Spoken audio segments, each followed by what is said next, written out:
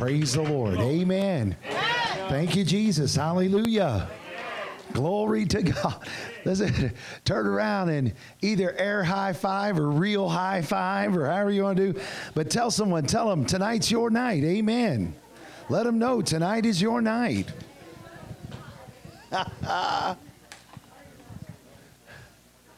You know, one thing I have not done, and, and, I've neglected to do these meetings. We've had we've had visiting ministers, and I know Brother Dameron has, has uh, um, introduced the different visiting ministers and and whatnot. But you know, I forgot to introduce the ones that I know that were here. Uh, my cousin, uh, Ruben Villanueva, he pastors a dwelling place in Swan. Amen. So we're glad to have Pastor Ruben here today. Amen. He's my cousin. I love him. Amen. We didn't discover we were cousins until last year. It was uh, kind of funny how that uh, the Lord, uh, uh, it was really God, God was all over in it. And, you know, we didn't realize how much God was in that whole deal, but um, it, it, was, it was awesome. Um, not only learning that I had a cousin that I had no idea existed, but that uh, we had crossed paths so much throughout our lives, not knowing we were related. And uh, so it's cool, man. And then he's a pastor uh, to boot. So I'm like, come on, Jesus. Hallelujah. Maybe there is hope for our family. Amen. Thank God. Hallelujah. Amen. So, anyway, I'm so glad that you're here today. Listen, if you came today expecting, you know, uh, I think it was Rod Parsley I heard say one time, and, and people were saying it, it became, it almost became a bumper sticker, the back of a t shirt. But they said, uh, it, I think it was Parsley that said the, the atmosphere of expectancy is a breeding ground for miracles. And I believe that. I believe expectation uh, puts us in a place where we begin to believe God for the miraculous and for the supernatural supernatural. So open up your hearts today and open up your uh, open up your lives today for the Lord to do what it is that He desires to do in you today. Amen. Glory. Hallelujah. All right, let's open up our Bibles right quick. I want to share uh, something with you here. Uh, let's go to to uh, the book of uh, First Kings, and I'm going to receive the offering here and uh, I shared I shared a scripture with you all. First Kings chapter 17. I shared a scripture with you all um, on uh, on Sunday. I'm trying to figure out what day it is. On Sunday, I shared a scripture with you all um, uh, out of Hag- Haggai. Thus says the Lord, consider your ways. You've sown much, you bring in little. Uh, you eat, but you have not enough. You drink, and everyone's still thirsty. You clothe yourself, but no one's warm and heated. Earns wages, earns wages to put into a bag with holes. Thus saith the Lord, consider your ways. Now, I, I, the Lord put me on a journey. There was can, can I tell you all this testimony? And then maybe maybe we won't read the verse, but if, if I have enough time, I'll read the verse. I'll give you a few thoughts on it. But I, I think it's important for you to hear this because there, there's some people that, that have asked me over the years. Uh, I, I, got born again when I was 15. I went, in, I went into the ministry when I was 16. Uh, full time, I've been in the full time ministry since I was 16 years of age. I started in the healing ministry, ministering to the sick, preaching all over. And when I first started preaching, I came out of the Mennonite church. I got born again in the Mennonite church, filled with the Holy Ghost in the Mennonite church, which is unusual uh, very unusual church. Got baptized in the Holy Ghost there, Spirit filled Mennonite church in Defiance. And um, Go, go, went into the ministry. Lord called me to the healing ministry. Very, very interesting way that He called me.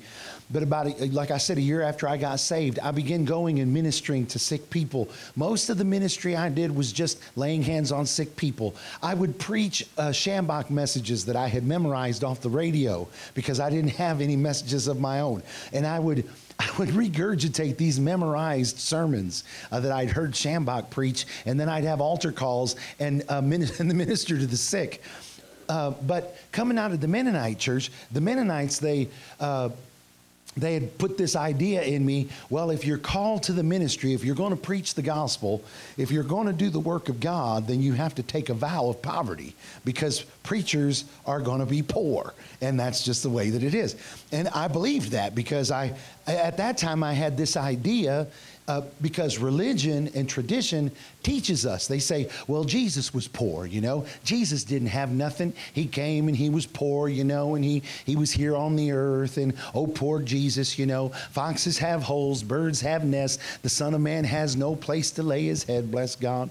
And so Jesus was homeless, you know, poor, a shopping cart pushing Jesus, amen. Poor, living in a cardboard box on the east side of Toledo, Jesus, hallelujah. Is that the bad part of town, east side? Okay, I thought so. Amen. Yeah, poor, yeah, poor Jesus. Amen.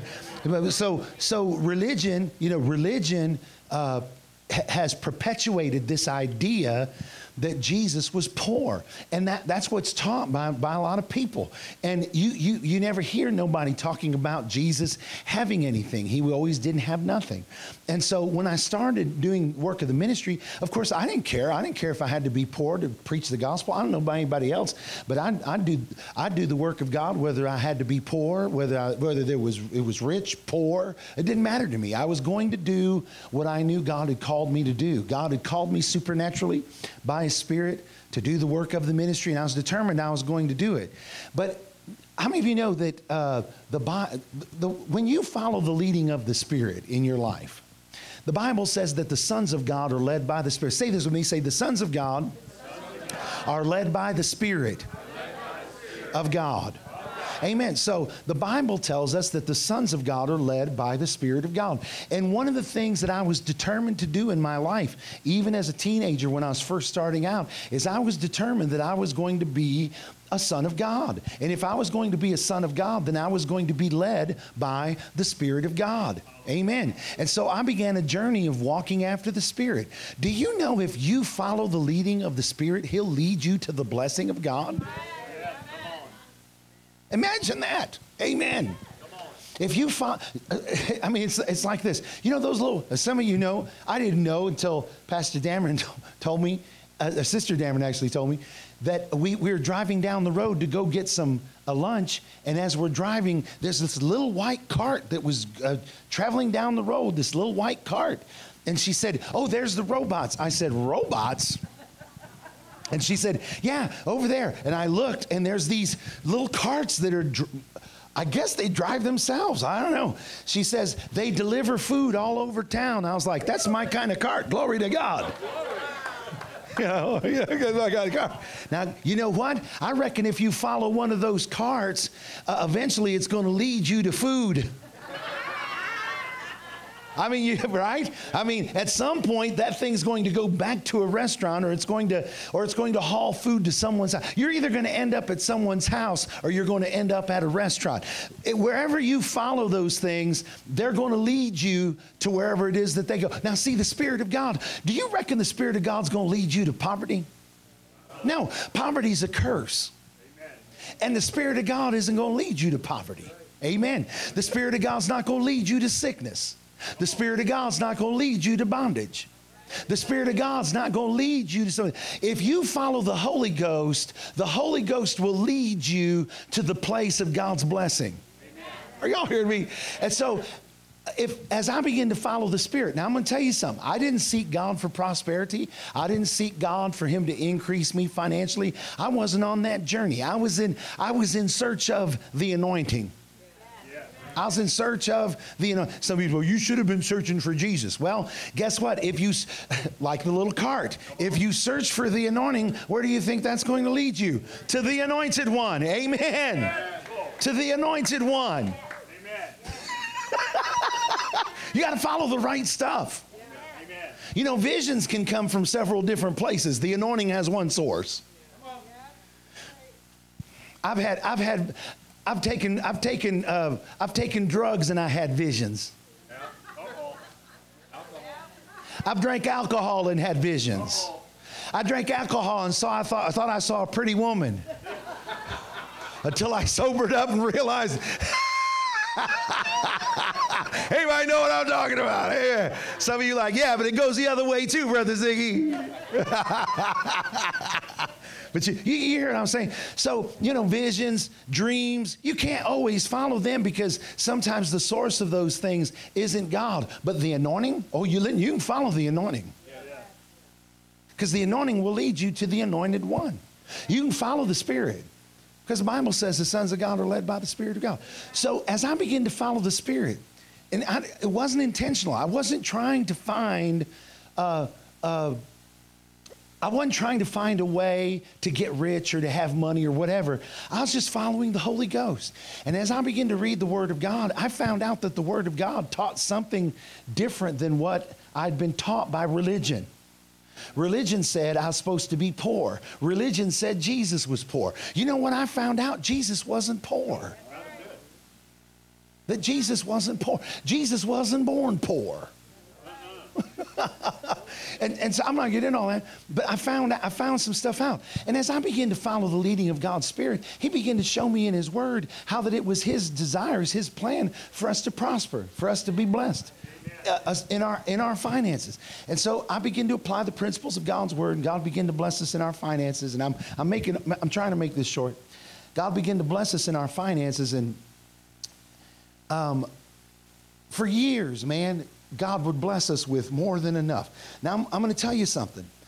I didn't have to, I didn't have to try to persuade people uh, in that time to give us an offering. I never, never have. We would get up, I would get up and preach. I applied the principles of God's word. I'd get up to preach. In fact, there were many times there were many times I, would get up to preach, and I, I, I, didn't used to receive my own offerings. I used to just let the pastor get up and receive the offering for us. And some of them put ver- for, forth very little effort, you know, to, to receive an offering for us because, you know, I mean, it didn't affect them. It's like, all right, we're receiving the offering. If you want to give something, give it. But everywhere we go, everywhere we would go, we would, we would get these huge offerings. And I remember it, it would make some preachers mad because we'd get these huge and I'm not talking, when I'm saying huge, I'm talking about tens of thousands of dollars would come in these offerings. And sometimes church no bigger than this church right here. And we'd have, we've had 30, 40, 50, 80,000 dollars come in the offering. I mean, just incredible offerings. And I wasn't teaching on supernaturally. I wasn't teaching nothing on finance. I was just getting up there preaching, applying the principles of God's word to my life concerning finances, concerning his blessing and the blessing of God began to abound toward us financially. Now, I knew that I did I didn't tell nobody. I didn't get up at church and say, "Man, God's blessing us."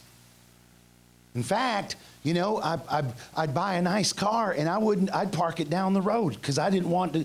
Here was what I didn't want. I, I wasn't trying to hide anything from anybody so, because I was ashamed or because I, I was uh, uh, doing something that was unethical or ungodly. I tried to hide because I didn't want to be persecuted over what God was doing. I didn't want anyone to question why I was doing what I was doing because I'd been taught by religion that if you're, if you're really doing the work of God, you don't have nothing. Somehow poverty equaled holiness. Are y'all hearing me? So I would ta- I'd take off, I'd take it off before I got to church and put it in my pocket. I'd tear the tags out of it so nobody would know, you know, what brand it was. I, I didn't want to be persecuted. I didn't want people to question why I was preaching. I wanted them to hear the word of God, receive the word of God, and, and, and uh, receive the blessing that God was trying to get to them through our ministry. But, but uh, about 1998, the Lord spoke to me and He said, Son, when I told you to prophesy, He said, He said, uh, when I anointed you to prophesy and I told you to do that, He said, You prophesied. And He said, and, and, uh, He said, and you, you did what I commanded you to do. He says, You were obedient. And He says, And it was a blessing to the body. And He said, And you did good. And I was like, Praise God. Hallelujah. I thought, Lord, you're blessing me right now. Amen. If God tells you you did good, you probably did good. I was like, thank you, Jesus. He said, he said, and when I anointed you to heal the sick and to minister healing to the sick, he said, you went, you laid hands on the sick. He said, and, and he said, you know what? He said, you did good. I was like, thank you, Jesus. I mean, I was getting blessed. He said, When I told you to go and preach the gospel and to have revival, he said, You went and you preached and you had revival. He says, and, and he says, And I anointed you to do it. He says, And you did good. I said, That's wonderful. He said, But I, he said, Son, I anointed you to prosper. He says, But you kept it for yourself. He said, And I never intended for you to be anointed to prosper and not deliver it to my people. He said, Son, if you don't begin to, to impart to my people of that anointing, he said, then your, I'm taking yours. And I was like, well, Lord, I'm pray about it. Because I'm, I, I, I, I'm pray about because I didn't want to be persecuted. How many of you know?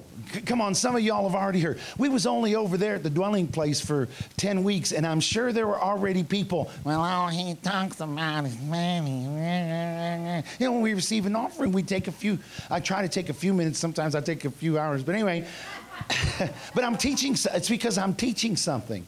Because not only do we need for God to anoint us with the Holy Ghost and with power, if you don't have the, if, listen, if you don't have any money to take that anointing, amen. One time the Lord told me go to Australia. You know it cost, you know how much it costs to go to Australia? At, the, at that time, $7,000 round trip for me to go to Australia. I'm, an, I'm, I'm, I'm, i feel like God has anointed me. I, I, I feel like there's an anointing on my life. But you know what? You can go to the, you can go to the airline counter and tell them I need a ticket. I need a ticket to uh, Australia. They say that'll be seven thousand dollars. Yeah, yeah, but I'm anointed. You can lay your hands on them. They'll fall out under the power. They'll be like, whew, you are anointed. All right, how about that ticket to Australia? That'll be $7,000. I don't care how anointed you are, it's still going to cost you money to get there.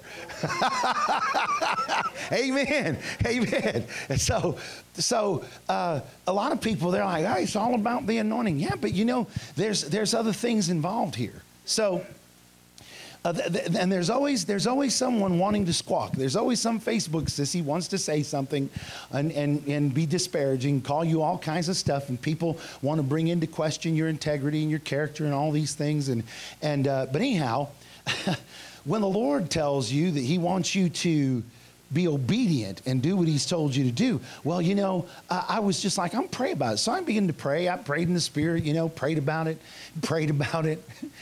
That's in the summer of 98. By the end of 1998, in October, September, uh, September, October, November came, and our, we had always had more than enough. But by the time we hit December, I was down to $10 in, in our ministry account. I, we had never been that. We hadn't been that way in years years.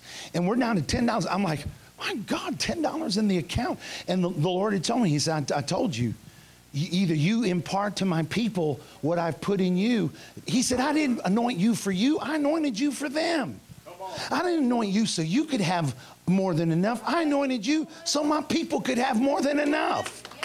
Are y'all hearing me today? You know what? We've, we've got to quit being indifferent. We've got to quit being resistant to the, to the blessing of God and what He's trying to get across to us. We've got to, listen, we've got to quit being disparaging toward preachers that want to teach us concerning the principles of God's Word, no matter what area those principles teach us in, whether it's anointing, whether it's finance, no matter what it is. And, and we're, the church, right now, the church, if there's any teaching we need, it's teaching on how to walk in God's blessing financially. And so then in 1998, you know, the Bible says if you're willing and obedient, you'll eat the good of the land. Well, you know what? Up to that point in time, I was willing, but I wasn't obedient. Boy, Lord, I sure would like to do it. You know I'd do it, God, if I could. I'd preach it if I, but I don't want them to persecute. I don't want anybody to question, you know, my integrity. I don't want anybody to question my character. But when you've got $10 and you have a budget of tens of thousands to meet, the next month and you don't have any meetings, you know, you know, you know where you're going, and you're like, oh. I got willing and obedient right away. I was like, I'll do it, Lord. Whatever you say, whatever you want me to do, I'll do it. And so he said, I want you to teach my people. Well, I didn't, I knew what I knew, but I'd never preached or taught on the subject of finance. I'd never done that. So uh, the next meeting I had was in a town called Antlers, Oklahoma. Antlers. Antlers, Oklahoma. And Antlers looks just like it sounds. It is in the middle of nowhere. there are like 2,500 people in the whole community of Antlers, you know? And so it's not, a, it's not a big town. The church is not a big church. We'd had revival there. And I called the pastor and I told him what the Lord had shown me. And he, I said, I said, do you reckon I could come over there and just minister on the subject of finances only? I said, I know that I'm asking a lot from you. I mean, he was my friend. and he because he had just had a preacher in there that had gone in there and raked the people over the coals for money. It was terrible, and and they were hurt from it. And so he said he said well. Uh, he said, Well, you know, we've been through some things. I said, I know. I said, and I would never ask you if, I, if I'm telling you the Lord is dealing with me about this. And he said, Brother Ziggy, I trust you. He said, Comes. His name's Benny Geary. We're still great friends today. He has a, now he has a church in Queen City, Texas. And we're going there, now, I think, supposed to go there next month. So, anyway, uh, he let me come. So I, I didn't even know what, I got my Bible and I'm like, what do I say? You know, what do I say? And I was so afraid that people would think that I was trying to manipulate them out of their money, that I, I was, I, I didn't want them to feel that way. And so I was trying to go out of my way to make sure, maybe, maybe that's what I'm doing today here, but I was trying to go out of my way to make sure people didn't feel like I was trying to uh, uh, extort them, you know, extort money from them. And so I, I, uh, began to, I, began to, I began to tell people what the Lord had told me. And I got up on Sunday morning. I said, Listen, folks, here's the deal. I said, I'm going to teach you concerning finances. I said, the anointing of God's going to come here. I said, when, when, when, we begin to, when we begin to teach on this, the Spirit of God's going to fall. I said, and some of you, you're going to get under the anointing of God and you're going to want to do things that you've never done before. That was already happening before. I said, but I'm telling you, when you preach the word, when the disciples preached, when the apostles preached, when Jesus preached, they preached, they preached, they taught, and then they demonstrated what they preached and they taught. I said, if we're going to preach and teach on finances, there's going to be a demonstration of supernatural provision and supernatural increase. And it's, I said, it's going to break out over here big time. I said, so. I said, here's what I'm going to do. I said, I'm not going to receive an offering in any meeting except for Wednesday. We're here till Wednesday. I'm only taking one offering. I said, So you won't think I'm trying to manipulate you out of money. We'll take one offering. And so I, I, opened up my Bible. I didn't even know where I was going to start. I opened up my Bible and I just started teaching. Man, I'm telling you, it flowed like a river. The, the anointing came and I began to teach. And in that first meeting, people were trying to bring an offering. I'm like, no, we're not doing that. People, you know what? one of the only one of the only meetings I've ever been in when people got mad that I didn't receive an offering. I'm like, no. Sunday night, I'm like, no, we're not taking an offering. Tuesday, I, I, Monday, I'm announcing we're going to take one offering on Wednesday. Someone came to me on Monday night. They said, I'm not going to be here Wednesday. I said, I'm not receiving that. I said, you either here Wednesday to give your offering or you miss out. They were angry. But the power of God was falling. So on Wednesday night, I got up and nobody wanted to wait. I got up and I said, Well, we're going to receive the offering here in a minute. People started running and throwing money at the altar. Nearly 30 something thousand dollars came in the offering, and the church was maybe 40 people in Antlers, Oklahoma. Southeast Oklahoma, the, uh, the, uh, not the greatest uh, economy in Southeast Oklahoma, very poverty stricken in that area. But people had, had been obedient to the Lord. They, they obeyed the Holy Ghost and they began to sow. That, that's where it started. I went to the next church. That, that church, after, after we went there, the next, the next Sunday, they broke every tithe and offering record they ever had. In fact, the pastor of that church, Pastor Ben today, if he was here today, you know what he would testify? He would tell you all that those meetings were the beginning of his personal supernatural increase. He, they have never gone backwards financially, personally, after that moment because they got in the presence of God, they got under the anointing of the Holy Ghost, and they entertained the Word of God and the Spirit of God to break them free that church came out of uh, they, they begin to they begin to have way more than enough so we went from there to the next meeting. I, taught in the next meeting. In that meeting came tens of, I mean, it was crazy. We, we, went, to, we went to churches and people were sowing $80,000. Every day. I'm talking about small churches. In the first four months of, of the year 1999, uh, we, we met four years worth of budget in our ministry. And the churches that we went to, all of them exploded with, with increase. God began to bless them in area finance. Listen, I'm going to tell you something, church. There is an anointing to prosper. There is an anointing for supernatural increase. I'm going to tell you, I'm going to tell you a little secret. Uh, God's blessing financially isn't just doesn't just hinge on what you give in the offering. It has to do more with just giving an offering. Now, giving an offering is a part of it, that's not all of it. And so we have to be willing to catch. You know, uh, I, I said to go here. glory to God. Hallelujah. go, let's read something else. Go to, go, to, go to 1 Corinthians. Run, run, run. 1 Corinthians chapter 2. 1 Corinthians chapter 2. Hallelujah. Verse 9.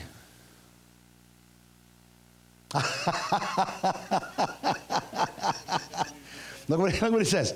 But as it is written, eye hath not seen, nor ear heard, neither have entered into the heart of man the things which God hath prepared for them that love him. So here's what it says Eye has not seen, ears not. How many of you have heard this verse of scripture preached? Most of the time you hear preach people, oh, beloved, amen, eye hath not seen, hallelujah nor ear heard, neither hath it entered into the heart of man the things which God hath prepared for them that love him. Amen. But some glad morning when this life is over, you know, by and by when the morning comes, we'll understand it better by.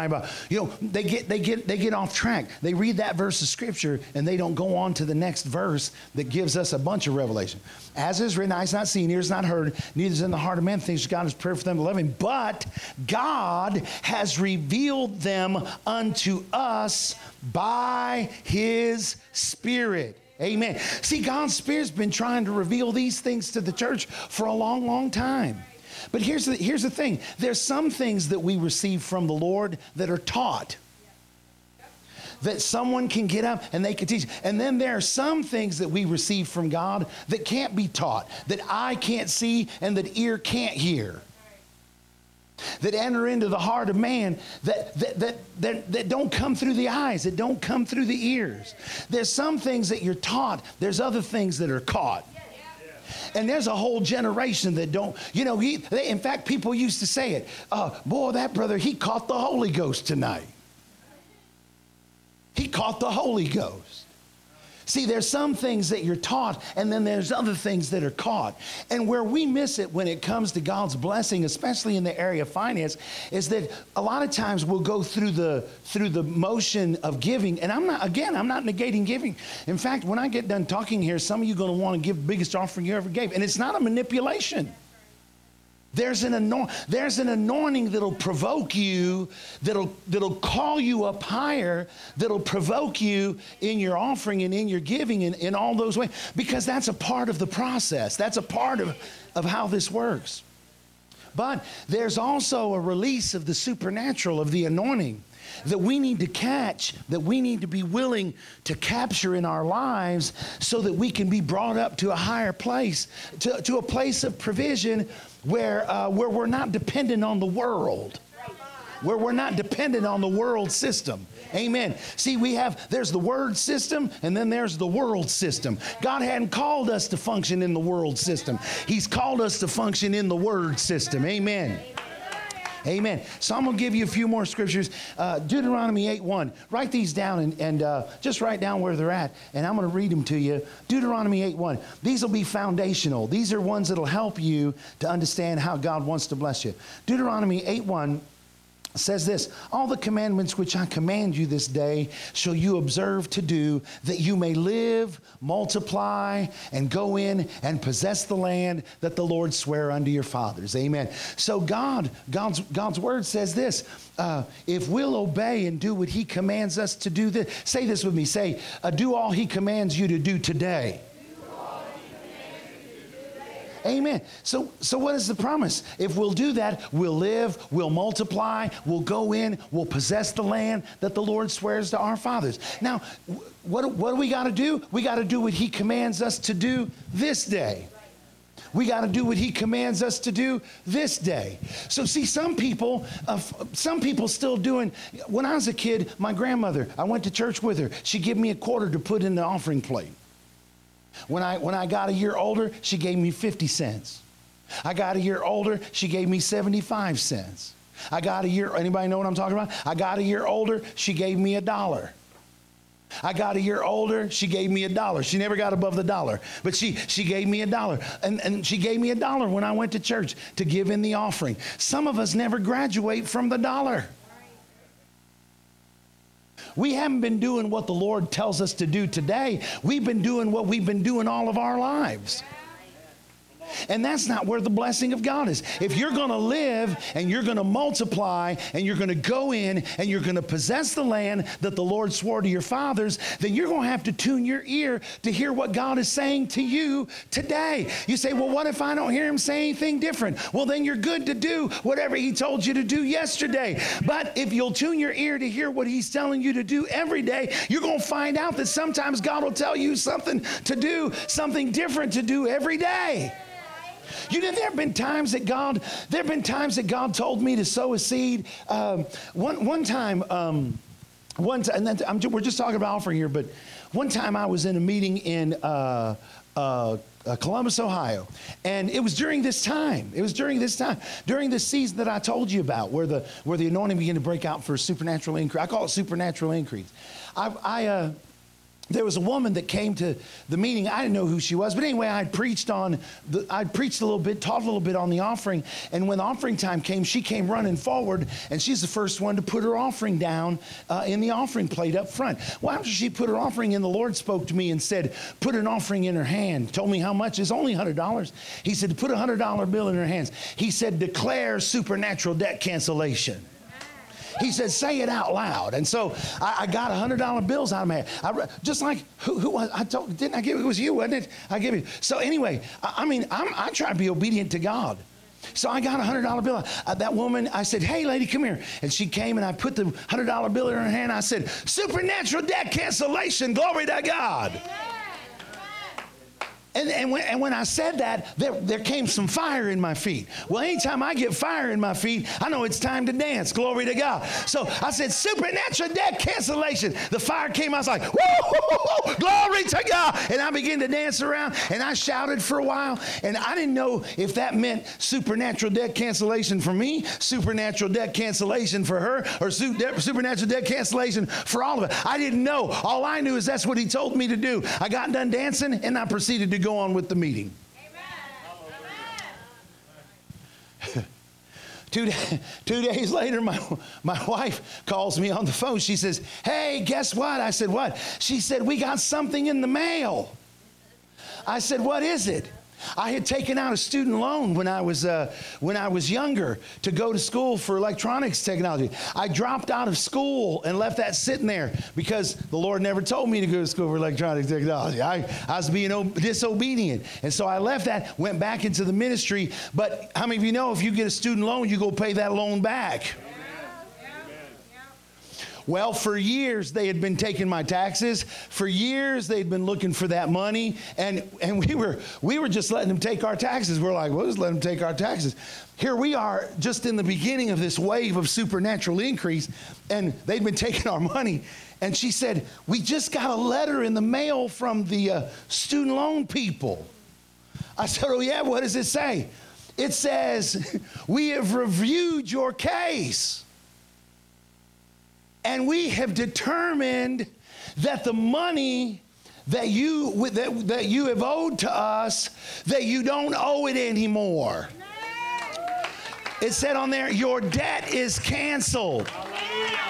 I said, Glory to It was thousands of dollars. I said, Glory to God. And she said, That's not all. There's a check in here for all the money that we gave them plus interest. Glory to God. I was like, and then I told my wife the story. I said, I just slapped a hundred dollar bill in somebody's hand, declared supernatural debt cancellation. She said, How much did you sow? I said, a hundred dollars. She said, Well, it's a four thousand dollar return. Glory to God. now listen, I know I know some of y'all think these are just stories that we that preachers just say this stuff to try to get us riled up and get us juiced up so we'll give it. Listen, I'm, I'm telling you right now, the only way I've been able to do the work that God called me to do is to live by faith in these words. I, I live by this word. All the commandments that I command you to, to do today, observe to do it. You will live, you will multiply, you will go in, you will possess the land that the Lord swears to your fathers. You receive that today? All right, amen. Oh, I'll, I'll give you one more. Deuteronomy 8 18, since it's in the same chapter. And then uh, we'll then we'll receive an offering. But anyway, Deuteronomy 8 18. But thou shalt remember the Lord thy God, for it is he that giveth thee power to get wealth. Say power to get wealth. Say it again. Say it again. So you'll remember, Lord thy God, for it is he that gives thee. Notice how it doesn't say he gives you wealth.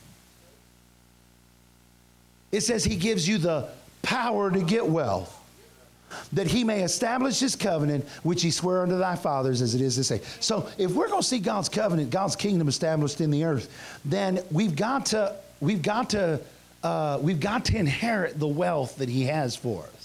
But the Bible says he gives us power to get wealth. Have you, wondered, have you ever wondered what that power is to get wealth? Go to the book of Romans. I'm going to show you something. I want you to remember the word power. Remember the word power and go to the book of Romans. Um, I'm going to finish with this.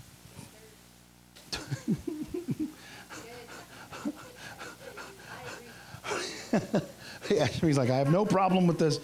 Romans chapter 1, verse 16.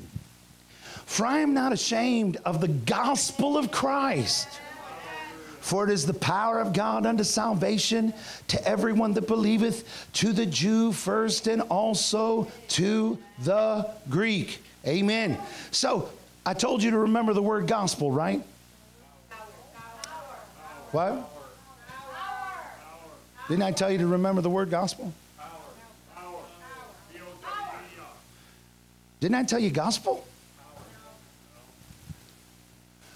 For I am not ashamed of the gospel of Christ, for it is the power. What is the power that God gave us to get wealth? The gospel.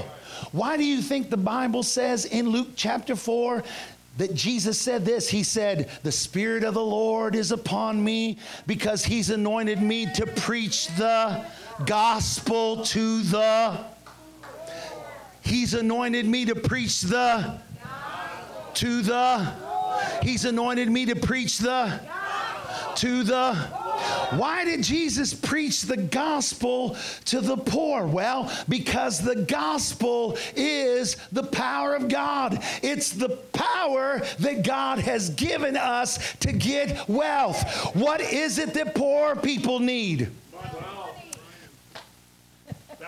Amen. If you're poor, now, oh, let me help you. Go to, go to Luke. I'm almost done. Go to Luke. oh, I should have taken you to Luke first. Go to Luke chapter 4. Run, run, run, run, run. Hurry, hurry, hurry. Luke chapter 4, verse 18. Look what it says. This is Jesus talking. We know it's Jesus because it's written in red. The Spirit of the Lord is upon me because He has anointed me to preach the gospel to the poor. He sent me to heal the brokenhearted, to preach deliverance to the captives, and recovering of sight to the blind, to set at liberty them that are bruised, to preach the acceptable year of the Lord. Now, listen. In a nutshell, this is what Jesus was anointed to do. Right? Basically, Jesus is saying, This is why I'm anointed. So he said this He said, I'm anointed to heal the brokenhearted. So, what did Jesus come to do for the brokenhearted? He came to heal this, not trick question. Jesus came to heal the brokenhearted. Say this with me. Say, Jesus came to heal, the brokenhearted. Now, why did Jesus come to heal the brokenhearted? It's, it's not trick question. It's very simple. If someone's broken, they need healing. So Jesus came to heal the brokenhearted because if you're brokenhearted, you need healing. He came to heal the brokenhearted, preach deliverance to the captive. Say deliverance to the captive. So, what did he come to do for the captive? To deliver them. Why did he deliver the captive? Because if you're captive, you need deliverance. Amen.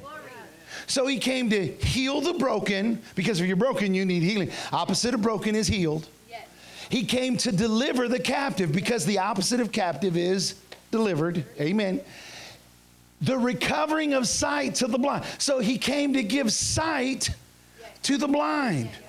Why did he, now I know I'm being facetious, but why did he come and give sight to the blind? Well, if you're blind, mm-hmm. it's, it's very simple, isn't it? Very simple. We read this verse of scripture regularly. We, we say we believe it. He came to heal the broken, deliver the captive, and bring sight to the blind. What's the very first thing that he said, though? The Spirit of the Lord is upon me because he's anointed me to preach the gospel to the poor. Now, if he came to heal the broken, deliver the captive, bring sight to the blind, what do you think he came to do for the poor? What is the opposite of blind? What is the opposite of broken?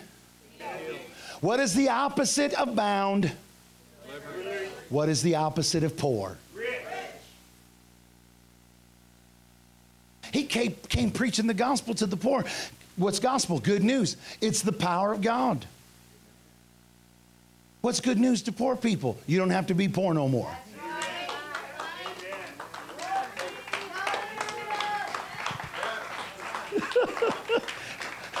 There's one fellow that got it right there. Amen. See, religion, tradition has bound us up and kept us from entering into the place that God's prepared for his people. See, the Bible says that the earth is the Lord's and the fullness thereof, that all the gold belongs to him, that all the cattle belongs to him, that all the silver belongs to him. It all belongs to God. And you know what? It's our inheritance. And God's trying to get his people to rise up in the power of his spirit. God's getting trying to get us to rise up in the power of the Holy Ghost and receive the inheritance that belongs to us. Amen. Amen. See, the gospel is the power of God. Joshua 1 8 says this. listen, listen what it says. I'll just, I'm going to quote it to you. This book of the law shall not depart out of thy mouth Amen. What's, what is the book of the law? Of course, we, we're, we're not under the law, but what is, what, what is it talking about? The word of God. This book of the law shall not depart out of thy mouth. What, the word of God is the good news. It's the gospel. It's the power of God. This book of the law shall not depart out of thy mouth, but thou shalt meditate therein day and night, that thou mayest observe to do according to all that is written therein. You know what's going to happen if you look at the gospel, if you keep the gospel in your mouth, if you say it continually, if you say it. Notice it doesn't say this book of the law shall not depart off of thy dashboard. This book of the law shall not depart off of thy coffee table. This book of the law shall not depart off thy lap. No, this book of the law shall not depart out of your mouth. Listen, you've got no business talking about you can't afford it. Well, you better put the word of God in your mouth. Are y'all hearing me today? I don't care what it looks like in the natural. You can't afford it. You know why? Because he came, glory to God. glory to God. Oh. See, now some of you are getting this. Amen. See, the Word of God, the gospel, the power of God has to stay in our mouths. We have to meditate on it. See, some people think meditate on it means think about it, keep it in our minds. That's not what the word meditate means. Meditate to me means to say under your breath. To say it under your breath. In other words, the, the, when, you're, when you're not saying it loud, say it like this. So this book of the law shall not depart out of thy mouth, but thou shalt say it under thy breath day and night. Why? So you can observe to do according to all that is written therein. What's going to happen as a result? For then, look what it says it doesn't say God will make your way prosperous. It says, then thou shalt make thy way prosperous. In other words, because you're keeping the word of God in your mouth and you're doing all he commands you to do today, it's not God that's making your way prosperous. You're making your way prosperous by believing the power of God, by believing the gospel of Christ, by believing the word. Are y'all hearing me today? Then thou shalt make thy way prosperous and thou shalt have good success. Glory to God. See, tonight, I want some of you to declare enough is enough when it comes to poverty, when it comes to lack. Today, you've got to make a decision.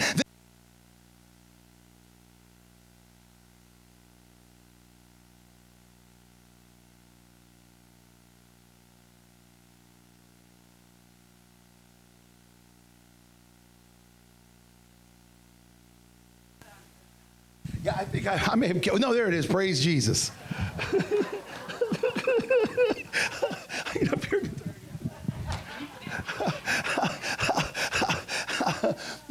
We've got to make a decision that we're not going to live according to the.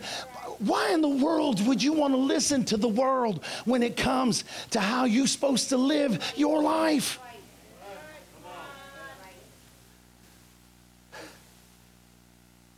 God's people, we, we, we join together to bash sometimes those that are God is blessing uh, in their finances. We join in on bash. I remember when Jim and Tammy Faye, when they went through all that they went through. Of course, you may or may not like Jim or Tammy Faye.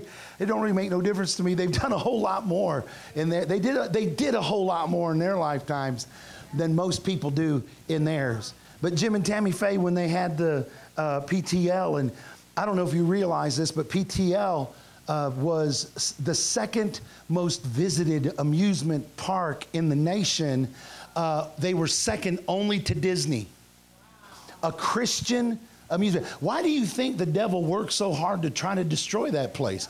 Because people were only the only place people were going more than Heritage USA was to Disney. And so Jim and Tammy, when all that went down and people were talking, I remember when the news reported, they said, they said, here's Jim and Tammy Faye's doghouse, and the doghouse, their doghouse has air conditioning. And I remember I went to church and church, but can you believe that? Their doghouse had air conditioning. And you know what I said to them people? Uh, when people said that, I said, well, you know what? If anyone's dogs ought to have air conditioning, it ought to be our dogs. Yeah. So you mean devil's kids' dogs ought to have air conditioning and the Christian dogs ought to be hot? We act like there's something wrong with Jim and Tammy Faye's dogs having air conditioning. I thought, my God, if anyone's dogs ought to have air conditioning, I'll be God's people's dogs. They looked and they said they had gold fixtures. I thought, well, if anyone ought to have gold fixtures in there, if, if you're going to have a gold faucet, if you're going to have a golden shower head, if you're going to have golden stuff in your house, if anyone has that, it ought to be us. You know what? Christians, they'll go to Las Vegas, they'll see the beauty of, of, the, of, the, of the buildings and, and, the, and the architecture, and they'll see, listen, you go to Sin City, and I'm telling you right now, marble floors and, and lights and everything done top notch. But you go to you go to church and you got people that got remnant carpet and pieces of this building that somebody tore down and they used it to build the church and we do it halfway and it's not even up to code and we're trying to hide it from the city and then we're trying to be proud of it. My God, if anyone ought to have anything nice, it ought to be God's people. Amen. Amen. What in the world? You know what's made us think that it ought to be different? The, it's, it's been the devil himself that has persuaded God's people that we ought to back up and not have. And I'm going to tell you right now, some of you need to rise up today. You need to make a decision that enough is enough. You're not going to live that way no more. Glory to God. Hallelujah.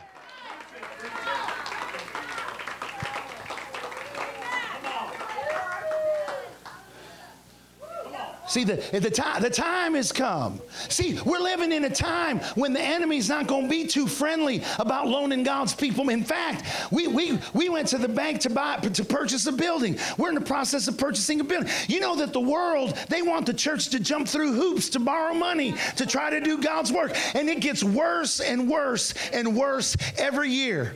But you know, the Bible says that when God's people rise up and live in his promise, that we'll be the lenders and not the borrowers. Glory glory to God, that will be the head and not the tail, that will be above and not beneath. Glory to God. Hallelujah.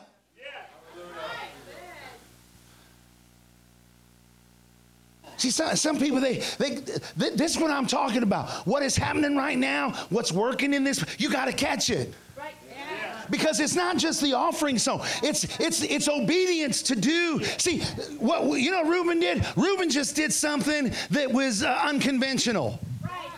That's not usually how things are done. And most of us, we don't want to do those things that are unconventional. We resist because we don't understand or we feel like that someone might make. But that's the that's the thing. Whatever he commands you today, do it. If you'll do it, see, it's not just what you give, it's how you give it. It's not just what you get. Sometimes it's that he moves on your heart and he says, "You know what? You need to stomp that offering up there. You need to lay it down like you're laying something down before me. I, and I'm, I'm just telling you, there are lots of ways that God moves upon us to do things, and we've got to be willing to be obedient to Him.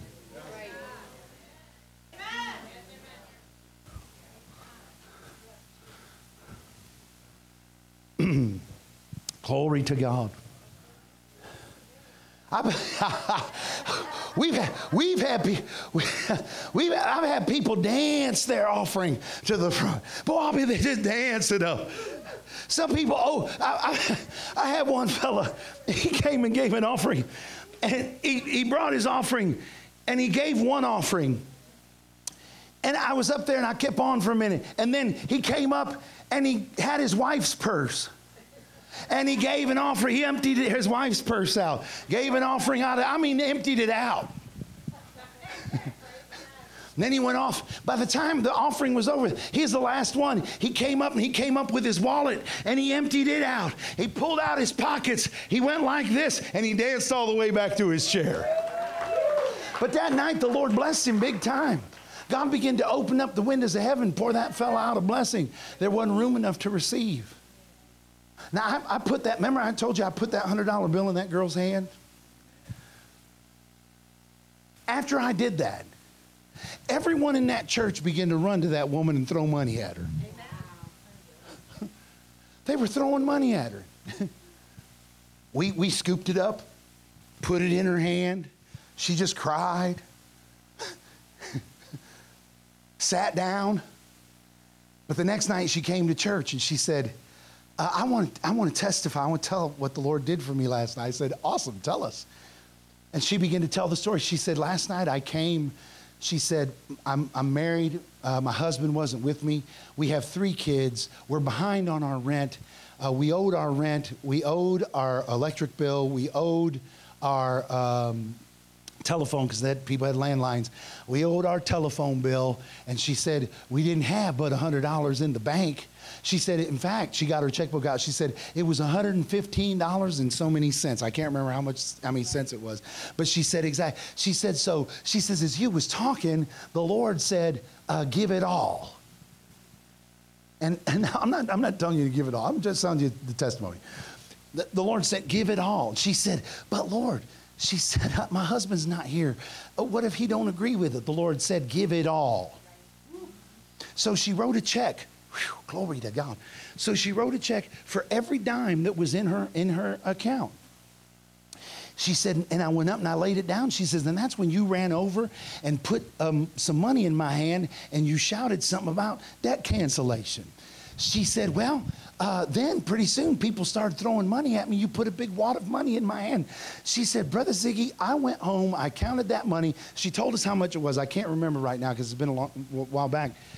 She told me how much it was. She said, but she said it was enough for me to pay rent, to pay my electric bill, to pay the phone. She said to buy groceries for me and my kids. She said, I've got a nickel left, but I'm trusting that God's to bless that. Amen. And, and, that night she sowed that nickel. She sowed that nickel. It's super, it's supernatural. Listen, church, this isn't, I'm going to tell you something. You, and you have to trust that what I'm telling you is right. I'm not, I'm not here to try to manipulate anybody out of anything. But I do know that God is God's desire to bless his people in a measure financially like we've never seen before. And right now, there's a greater measure of the anointing being released to God's people. And here's what I call it for supernatural increase.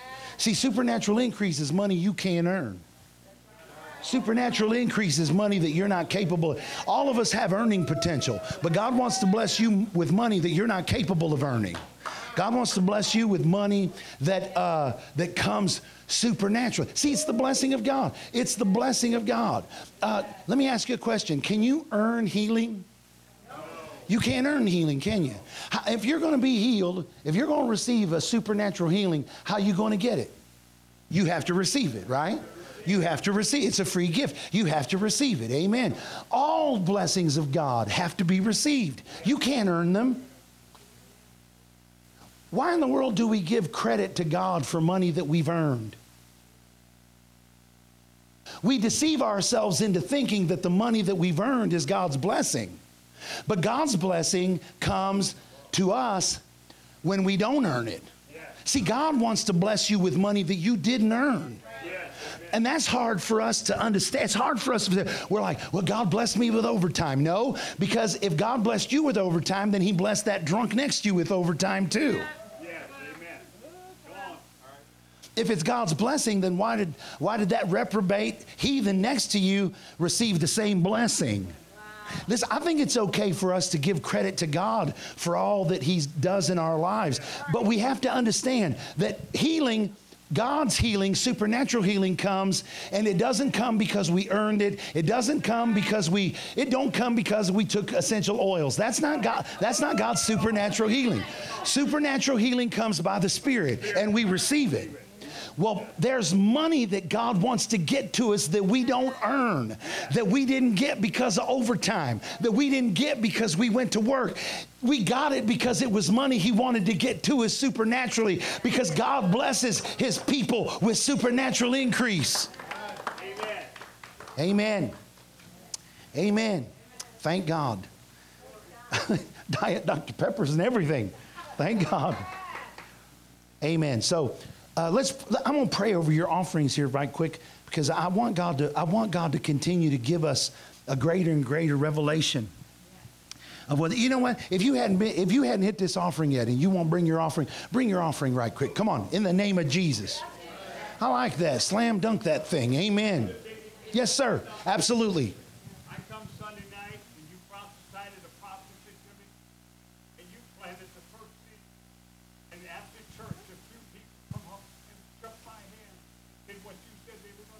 Praise God. Praise God. Amen.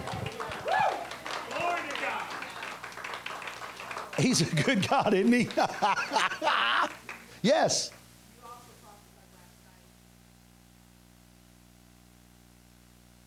Amen.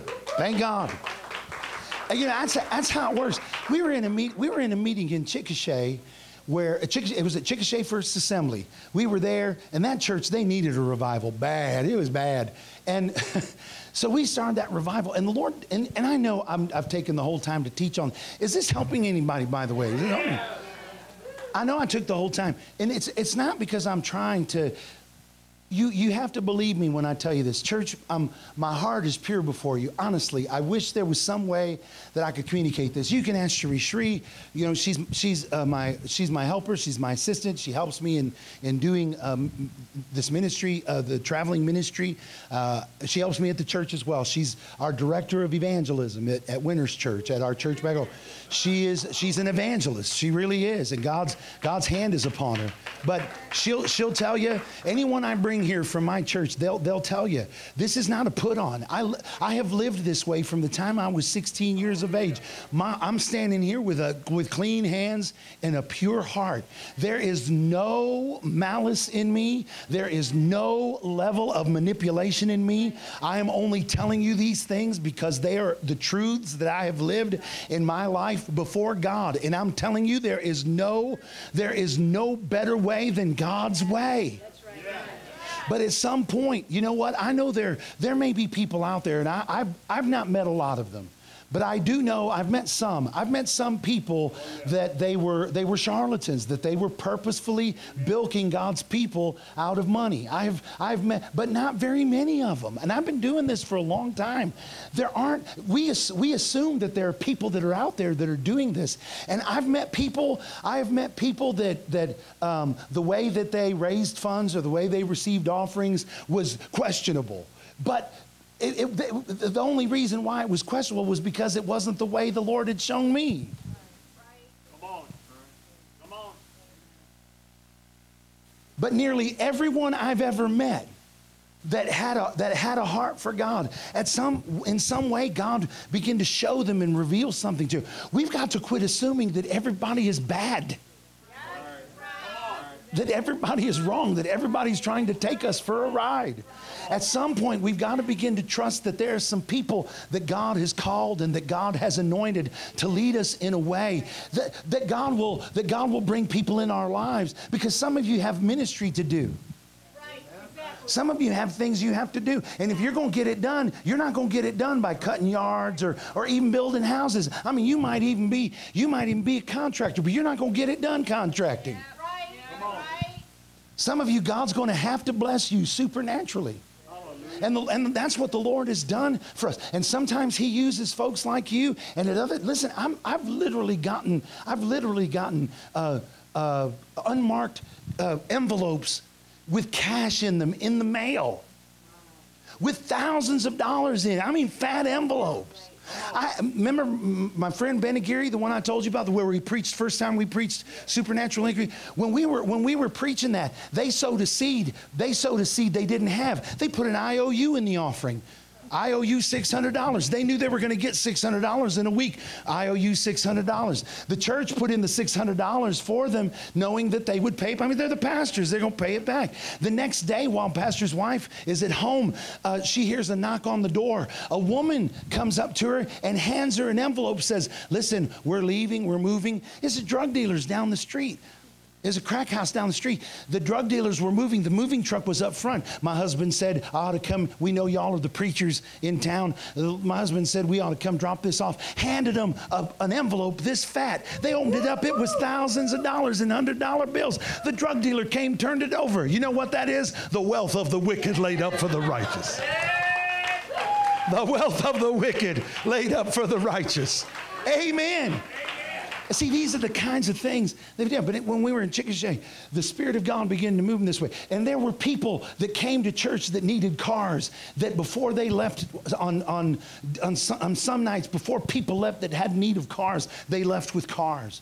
There were people that were homeless, need of homes, and they had homes given to them. You, people would sit in the meeting. Pastor Mikey, my friend Pastor Ward, he was on staff at my church up until uh, uh, several weeks ago. But uh, he, he's traveled with me uh, different places. He was in those meetings. He came, sat in those meetings for, we were there for seven months. I said, Pastor Mikey, did the Lord bless you at all during that meeting financially? He said, Oh, yes. Now he didn't. He, I had him. I had him get up and receive an offering or two. You know, just get up and say a few words. And he never. He never preached. I don't even think. Now, maybe he did. Maybe he preached once or twice. But I said, Pastor Ward. I said, had you ever figured out how much? Because uh, we were talking about how that that spirit of of supernatural increase was in the atmosphere. It's in this. It's in the atmosphere right now. Listen, you ought to take a chunk of this anointing and take it home with you. Amen. Yeah, but, but he said, I said, did, uh, I said, did the Lord bless you? He said, I said, did you ever calculate it up? He said, he said, let me figure it out right quick. And he figured, I got his phone out, figured it up. He said it was over 14, or 13,000 something dollars that people came and put in my, in my lap in seven months of him just sitting in the meeting. Of him just, see, so some of you, you're already experiencing it. We've got to be obedient to the Lord. I'm telling you, if we'll learn how to yield to God's Spirit in every way, God will see to it that we're blessed in every way. Amen. Amen. Thank God. Hallelujah. Glory. Let's lift up our hands and thank the Lord. Amen. Now I'm going to pray. I'm going to pray over this offering. Father, we thank you for the offering. We pray, God, your blessing upon it in the name of Jesus. Lord, bless the gift, bless the giver. God bless everyone that is not only given sacrificially, Lord, but those, God, that are giving out of the abundance that you've already given to them. Lord, I thank you that your word is true. Lord, you are the, you, you are the one that confirms your word. And so, Lord, may your word be confirmed in your people in this house in the name of Jesus. May your grace abound toward them, and as your grace abounds toward them, may they increase in every area, not just financially, but Lord, may they increase in every area, including their finances. In the name of Jesus. In the name of Jesus. Come on, let's pray in the spirit real quick. Shelebre eta yahara. Mana samara maharam romose. Turamasi keche bengele telebe erebiasa kachara. Morosomona maharabasa keche bengeletea. Come on, pray in the Holy Ghost. Selemende. Enemy sarabokolo koli altiarabatai. Mani shemende ne mese keche bengele kele kiria sefreda.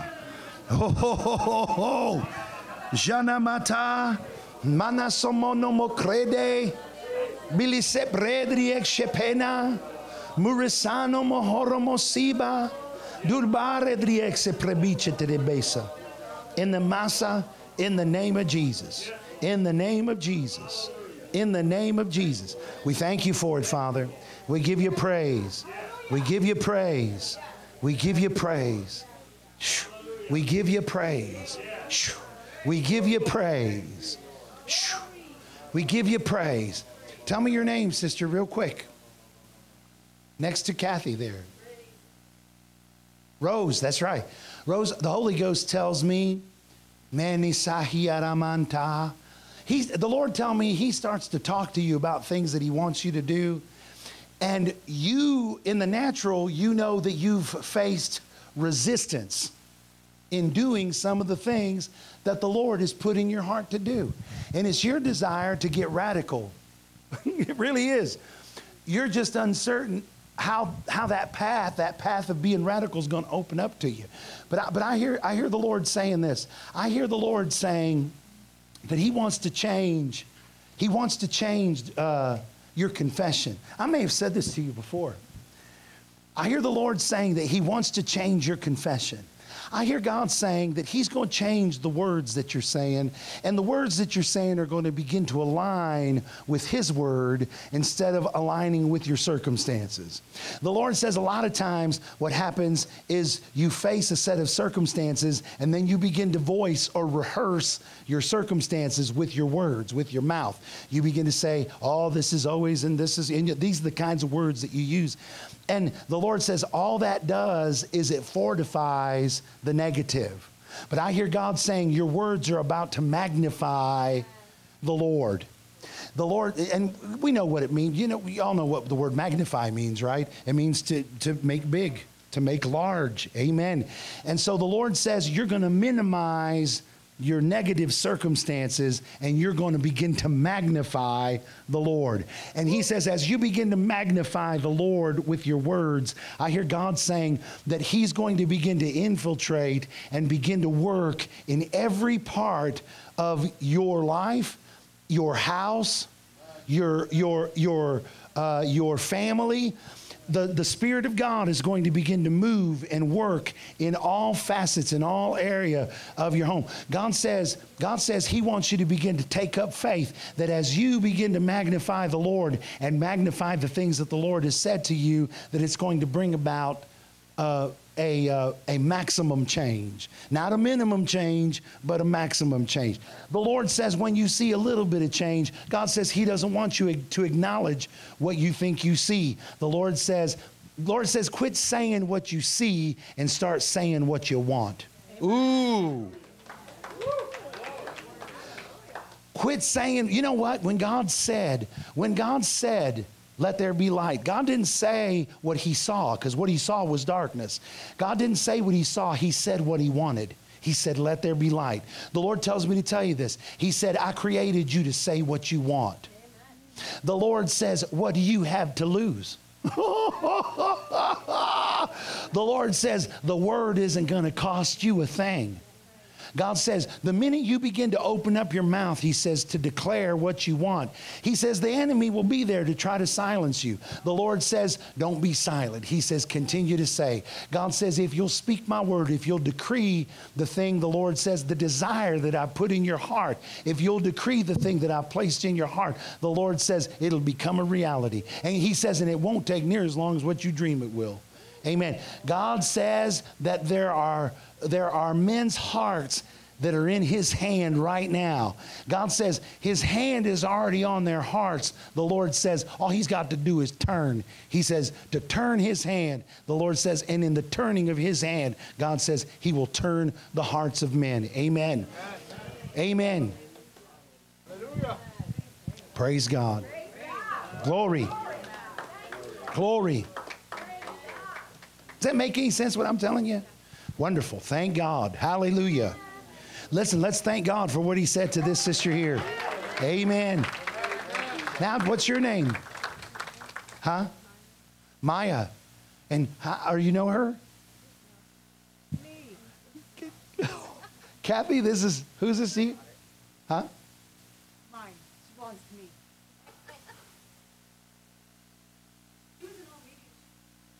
That's all right. I didn't. Sheree, come on, Pastor. That's the same girl. Maya Gilmore. Maya Gilmore. Maya. Maya. I prayed for you then before. She's like, yeah, yeah, I'm going to go. She thought I might. I thought I might get out of here, but no. Oh no. Mary Saprea. How old are you, Maya? You're young enough. I can ask. Sixteen. Thank God. Thank God. Hallelujah. Hallelujah. You little boy, Let me have your hand real quick. Just a thank you, Jesus. Now, are you serving the Lord with all your heart? Yeah. Nere sopre federici. Hara masakeche bona marabata. Bare. You, see what he tell me? I'm, I'm praying for her. He's talking to me about you. Oh Beres, I'm gonna pray for you. I mean, I'm, I've got something for you here in a minute, but you know, he, he said, "Baie presi cresce driende de mare drieda, mel chlide meeste cara fride para jedangele genesta." He he tell me there's some things he's dealt with you about that he wants you to, to separate yourself from. There's some things he don't want you doing. And the Lord says, you said, well, it don't matter. God don't care nothing about that. Here's what he wants me to tell you. Yes, I do. I put it in your heart to depart from it. The Lord says, if you'll depart from these things, God says you'll have far less resistance. The Lord says you're not going to earn it, but God says you'll remove the resistance that's kept you from achieving what I want you to achieve. The Lord says, What do you want more?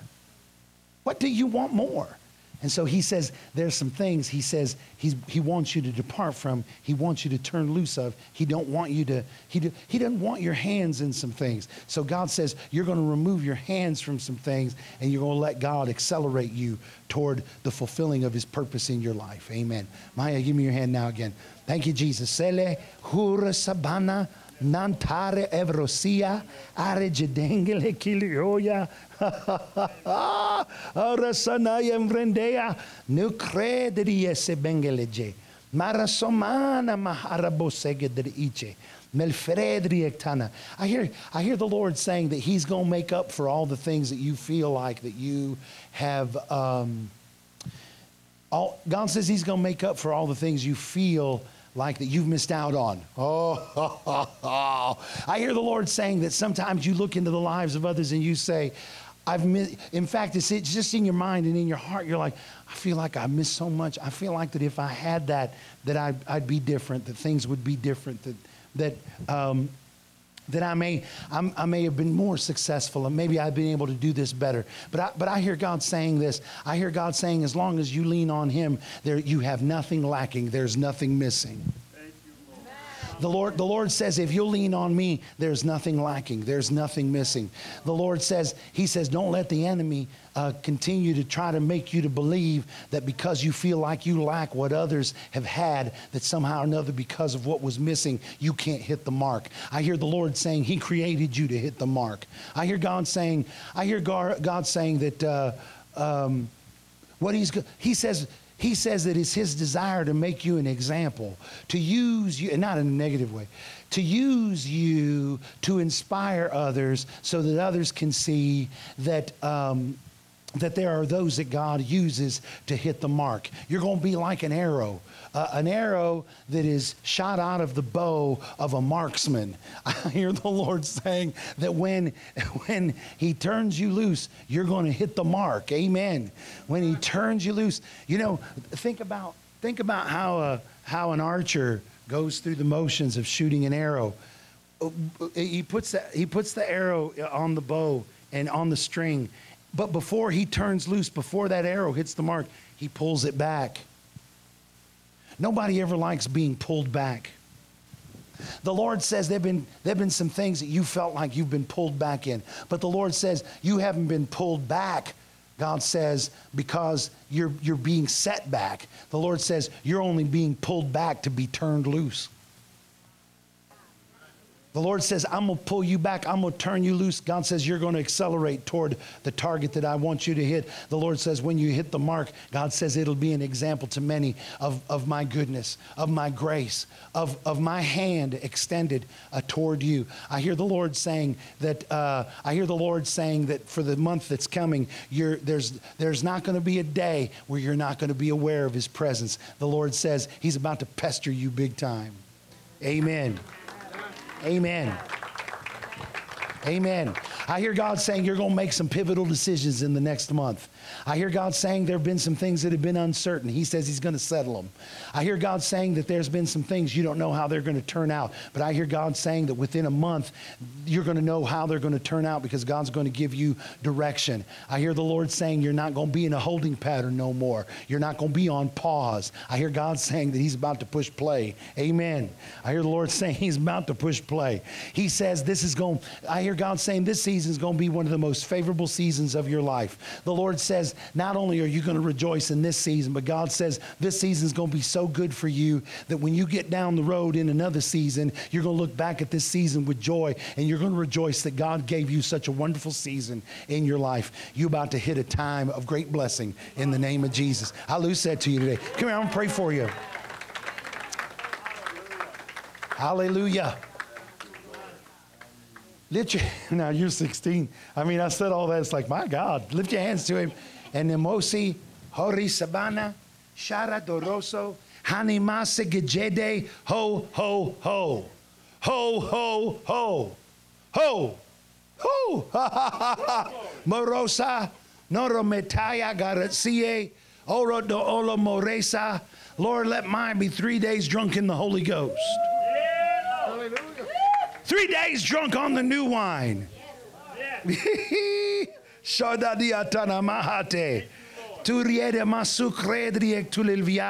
In the name of Jesus. I thank you for it, Lord. Amen. Amen. Thank God. Thank God. Amen. Thank you, Jesus. Praise the Lord. Amen. Praise God. Now, I see, I don't remember everybody, so. And then if you change your hairstyle on me, I won't remember you. It don't take much to fool me. you know, people, all you got to do is wear a different hairstyle. I'll be like, have I, do I know you? Have I prayed for you before? You'll be like, and it don't take much. Just comb it to the side, brother. I don't even recognize you. Cameron, glory to God. yes, thank you, Jesus. Cameron, is that that's right, right? Cameron. How do I remember your name?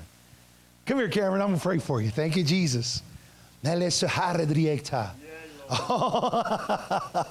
Thank you, Lord. Marisa Borobosa.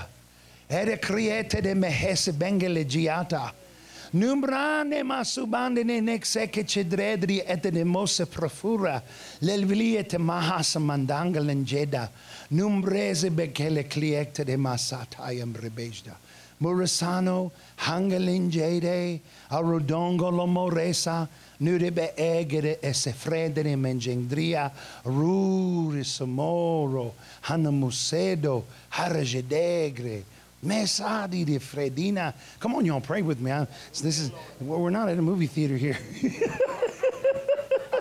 Borosha, Borosha, Borosha, Borosha, Liprona ma hambre, duregele che le sibo. Rona mansana na chiquera bure se bengele, lucredri is de greinge mendea, nifronesana malcaredri ise. Meljedriendaya, Maracobro, Melesehedai, Arajanara. Anasiandin himestera Friedrich Shidri. It's like I see something, it's like I see some sort of financial, uh, something financial being awarded to you. It's almost like you won a, it'd be like he's on the Price Is Right and won something or something. I mean, it's weird. It's like uh, um, it's like a like a- someone would have a like you're being granted something. You know, I guess they do that in school, or people get a grant or whatever. But I, somehow or another, I see some I see some finances being released to you. I see some money being turned loose at you. It's almost like it's been hung up, but God says He's going to unhang it. Amen. There've been some stuff that have been kept back, but I hear the Lord saying He's going to He's going to turn it loose to you. You're about you're about to you're about to receive, uh, you but you're about to receive something in in the form of money, and. Uh, and, and you'll, you'll have to give glory to God for it because there's no other, there's no other way you could ever think or, or understand where it came from other than the Lord saw to it that He is going to get you something. But, I- but I hear God saying this. He says there are, um, God says He's about to take you into new territories. He's about to deliver you into a new place. I hear, I hear God saying that uh, the last time that we encountered one another, the Lord opened up some doors and He tore down some walls.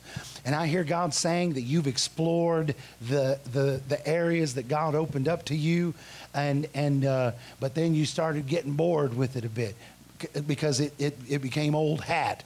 But I hear God saying, I hear God saying, You're not going to have to stand in front of me to break out into new things again. I hear God saying, Today you're going to break out into new things. God's going to expand your territory. He's going to open up new doors. He's going to tear down boundaries and open some new things up to you. But I hear the Lord saying this He says, The next time there needs to be a breakthrough, I'm not going to have to stand in front of you for you to get it. I hear the Lord saying, I hear the Lord saying, He's going to teach you how to break through in the name of Jesus. The Lord says, reason why He's going to teach you how to break through. He says, you're going to think in the beginning that He's teaching you how to break through for you. But the Lord says, I'm not teaching you to break through for you. He's, uh, I'm teaching you to break through for others. Amen. Because, because God says, it's still in my heart for you to break others through. The Lord says, uh, the Lord says that the work that I do in you, He says people are going to see it as being a supernatural work. The Lord says it's in the realm and in the area of the supernatural. He says that He wants you to help others break through in. I hear the Lord saying that. Um, I hear the Lord saying, You haven't yet realized the fullness of the flow of the supernatural that God desires to release. But the Lord says, He says, You're at the threshold. He says, um, The season, He says, of, of, a, of a breakthrough into the supernatural, He says, is upon you. And the Lord says, I'll cause you to lead many. He says, In the beginning, you'll. in the beginning, you'll lead ch- children you'll you'll take them and you'll you'll speak into them and you'll impart into them and I it's and and it's not maybe it's not even necessarily something you even want to do you may even be resistant to it but i'm telling you god's going to put you with children and those children are going to challenge you uh, in ways that you have never allowed anyone else to challenge you. God says he's going to use the children to provoke something out of you that hasn't been to, been able to be have been brought out of you by any anybody else. He says but as he brings the children around you and as they're drawn to you and the lord says you begin to have compassion toward them and you begin to have a love for them the lord says the lo- a love for them like i have for you. God says it's going to draw something out of you the lord says you're going to begin with children but the lord says your ministry and, and what he wants you to do is not going to end with the kids. God says he's going to graduate you uh, to begin to lead others to the place to believe for the miraculous uh, to break out in their lives. Because the lord says the lord says i'm going to make you a living testimony of the miracle working power of god. The lord says you will be a living witness of the miracle working power of god in the name of jesus. So so i so i hear god saying this he says, he says, even though you backed up a bit, the Lord says, you're breaking through today in the name of Jesus. I loose you today in the name of Jesus. loose you today, Cameron, in the name of Jesus. that was a good word. Amen. Thank God. That was a good word for her, wasn't it?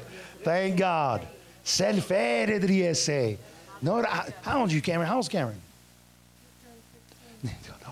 Boy, these 16 year olds getting these words from God. Borisa, there's an army rising up. There's an army rising up. Amen. There's an army rising up. Have I prayed for that fellow before? Is he a troublemaker?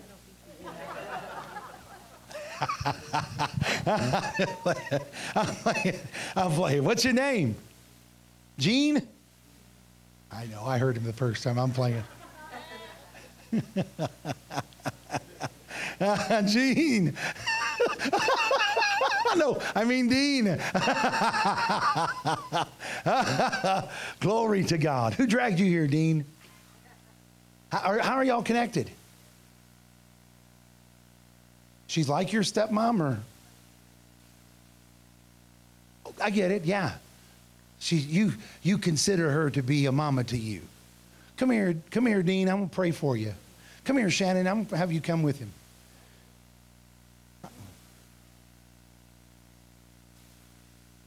I knew I need to pray for you, that marijuana leaf on your shirt. No, no.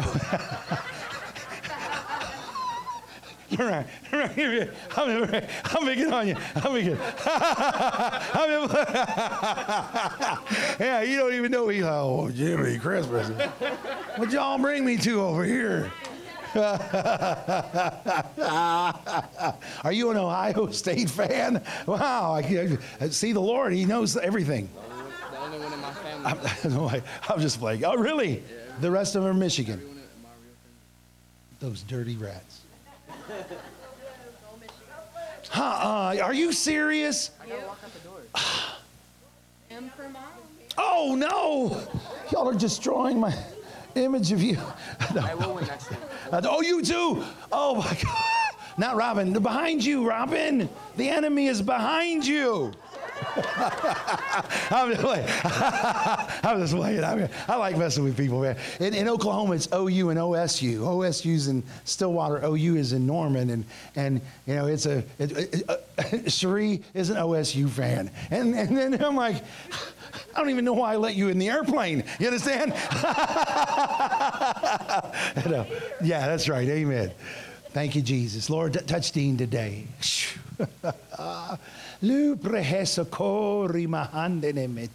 Do you go to church anywhere, Dean? Uh, no. Are you serving? You're not serving the Lord, are you? Say this with me. Say, Jesus, I surrender my life to you. Forgive me of all my sins. Wash me in your blood. Take my life in your hands. I surrender to you completely today. Fill me full of your spirit and let me live in victory from today forward. Thank you, Jesus. Thank you for saving me. Thank you for filling me. Amen. Amen. Hallelujah. Dean, you're already starting to get it. You can already feel it. You're getting the numb buzzies, aren't you? Yeah. Ooh, boy, I feel the Holy Ghost. Lord, I thank you for Dean. I pray, God, that you'll touch him today. Fill him, Lord, from the top of his head to the soles of his feet. Lord, let him leave out of here today.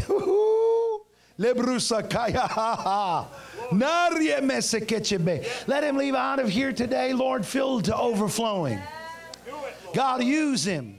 Use him, God, to be a voice to his generation. God, let him preach the gospel. Let him preach the gospel, Lord.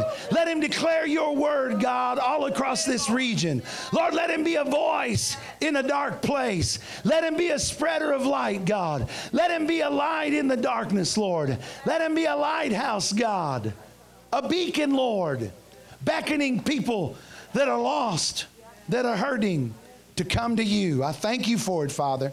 I thank you, Lord, that today, today is the beginning of the greatest days of this young man's life.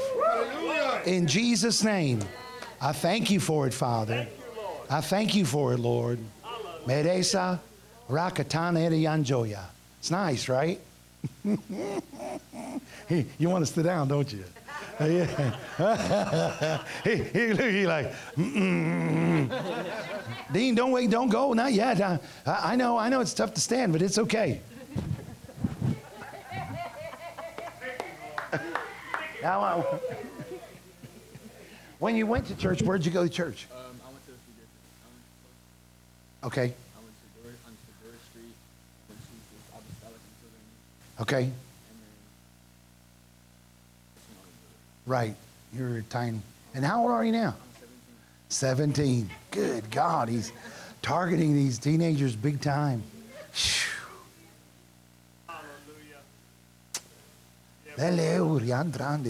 See, God's filling you with His Spirit. God's filled you with the Holy Ghost. Mm-hmm. You're going to here here. I don't, I don't know if it's before you leave this building, but at some point tonight, you're going to open up your mouth, and when you open up your mouth, you're not going to talk in English.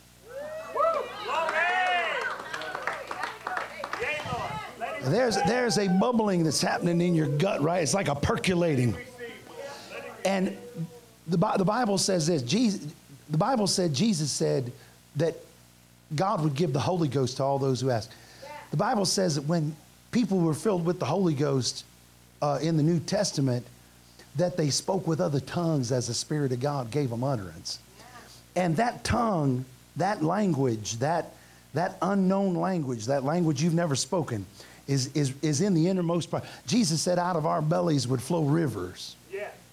And right now in your belly, there's a river, and it's about to, that river is about to overflow. So I hear, the, I, I, the Lord want me to tell you this. The Lord tells me, when you begin to speak in that unknown tongue, don't let it freak you out. Because the Lord says, when, when you begin to release that prayer language, God says, it's like you're going to be transported into a different world. You're going to, you're to swear that you left your body. You're going to be like, it's, you're going, you're going to think it was like a, what, what the world would call an out of body experience. I hear the Lord saying this to me, to tell you this though. He says, don't try to make it freaky. He says, just understand that I'm touching you. The Lord says, don't try to make it something mystical. The Lord says, just, He says, just know that I am touching you, that I am working with you, that I am setting you apart, the Lord says, for the purpose to which I've called you. But I, but I hear God saying this the days of you not knowing your purpose, those days are behind you. The Lord says you are about to discover the reason why you were created. The Lord says you're not going to search no more uh, to be satisfied with the things of this world. But the Lord says the thing that's going to satisfy you is that you're going to come to a place where you have a revelation of the purpose and the plan of God for your life. And you begin that journey today in Jesus' name. Thank you, Lord. Amen. Thank God, Dean. Amen. I'm so glad you brought him, Shannon. Amen. The trend begins again. Everybody you dragging in here is getting going to get called out. Hallelujah. You know, every person she brought over there to Holland got called out. Isn't that right? Thank you, my brother. I received that. Ooh, oh, baptized.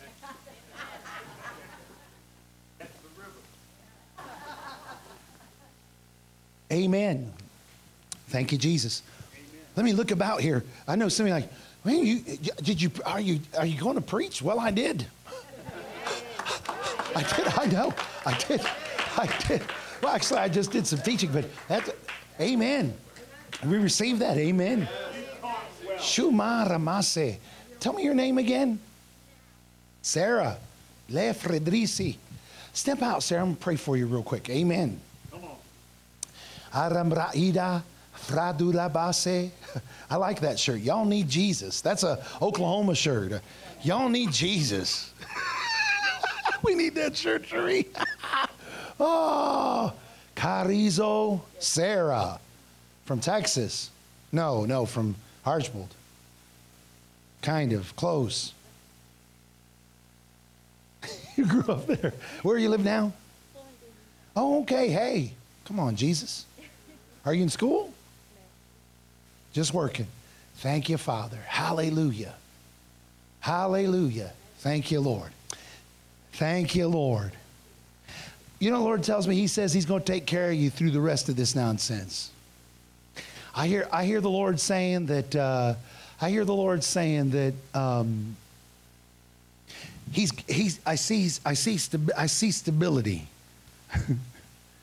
I, I see things not being uh, uh, up and down and uh, changing from moment to moment for you. I see God establishing something and I see it remaining constant. I hear the Lord saying He's about to stabilize things for you.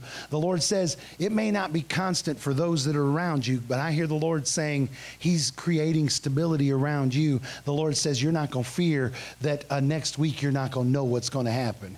I hear, I hear the Lord saying that He's speaking peace, uh, that he's, he's declaring a stillness in your, in your spirit and in your mind. God, God told me to tell you this. He says, he says, I never gave you the responsibility of taking care of yourself. I hear, I hear the Lord saying this. I hear the Lord saying that, uh, that at, at some point, at some point in your, in your bringing up, in being brought up, I hear the Lord saying that some people said, well, you're going to have to take care of yourself and, and trying, to, trying to give you this idea of responsibility. But the Lord says this. He says, I never, I never expected for you to take care of yourself. The Lord says, it's always been my desire to take care of you. So I, so I hear the Lord saying, I hear the Lord saying, when times of instability have come, you wondered, who was going to take care of you, how you were going to be taken care of. The Lord says, I'm going to take care of you. Uh, I'm going to take care of you, the Lord says, by bringing you to a place where you don't have to worry about ups and downs and all arounds, but where you understand that uh, I'm your source, that I'm your supply, that I watch over you. The Lord says, the Lord says there are times that you said, Lord, I don't feel like you're there. Lord, I, I don't feel you. You said, Lord, I don't feel you. And the Lord says this the Lord says, You don't have to feel me. God says, All you have to do is know uh, that I'm with you. You have a promise. The Bible says, Lo, I'm with you always, even to the end of the age. And so I hear God saying that, um, that in the past, uh, you that uh, at times you'd be anxious if you didn't feel something, if you didn't have something. The Lord says you're not going to be anxious no more. The Lord says you're going to be confident in the Word of God. You're going to trust the Word of the Lord. And God says even in times when you don't feel, the Lord says you're going to know that He's present. You're going to be fully persuaded. And God said because of that, He says you're going to be stable. You're going to be steady. The Lord says there's not going to be a your your life isn't going to look like a like a. Uh, they call it when they hook uh, your heart up to a. yeah, EKG. You're not going to look like that line on an EKG. You're going to be, amen, you're going to be straight. I, I hear the Lord saying this I'm going to use you to heal sick people. The Lord says, I'm going to use you to heal sick people. God says, You're going to lay hands on the sick, and the sick are going to recover. The Lord says, You've always had it in your heart to help those that are injured, that are hurting, physically and emotionally. I hear God saying He's opened up the door for you to do that. So, Father, I thank you today. I loose this to her in the name of Jesus. We declare this thing to be done by faith in your name. We thank you for it, Lord. Hallelujah. Hallelujah. Lord, I pray that, uh, that this girl here, that she'll be whoo, filled to overflowing. Filled to overflowing. In the name of Jesus. In the name of Jesus. I thank you for it, Father. Amen. Amen. Thank God. Amen. You receive that? Amen. Thank God. Thank you, Jesus. Thank the Lord. I mean, how old are you? I mean, you're young enough I can ask, right? 28. See, where do you, what, what field do you work in? So you're at uh, the automotive plant, and you're in the quality control area. so you do inspections of all these things. God's going to open up you a ministry to minister sick people there. Now, I know it's crazy. When everyone else's jobs are in jeopardy, yours will never be. You don't have this. You don't have the seniority that some people have, but I hear God saying it don't. Seniority don't matter when He's involved. That's what God told me to tell you.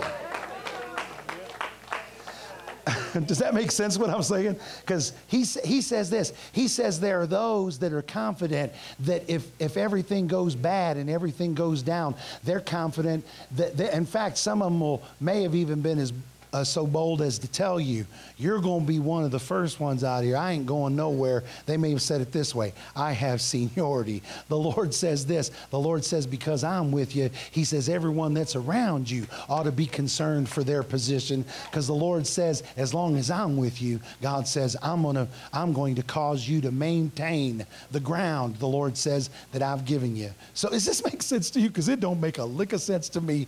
But I hear the Lord telling me to tell you that uh, instability is not going to affect you in the name of Jesus. This unstable environment isn't going to affect you. It's not going to affect uh, your ability to. Uh, uh, to do the job or anything like that. But I do hear this. I hear the Lord saying He's opened up a door of ministry for you to minister healing to the sick right there where you're at. Amen. And so, uh, I thank you, Father. Let her be, let her be way blessed in the name of Jesus in the things that you have for her. Praise God. Amen. And your, uh, tell me, uh, Sarah. Thank you, Jesus. Thank you, Jesus. Thank you, Jesus. All right, Sarah. I'll let you sit down. Amen. Amen. Thank you, Lord. Boy, tonight was way different, but boy, is it good. Amen. Thank you, Jesus. Well, let's let's pray in tongues for a little while longer. Shenemrana, edepari sefredea, and then we'll we'll see how the, the Spirit, the Lord, lead us here. Amen. Entaniandara, barasukechidrieda, arambruse, harafrietam, balkara driese, arashikede bestrifa, marajidengele chede betia, arasaprondre mahara, braansa kacheda basia.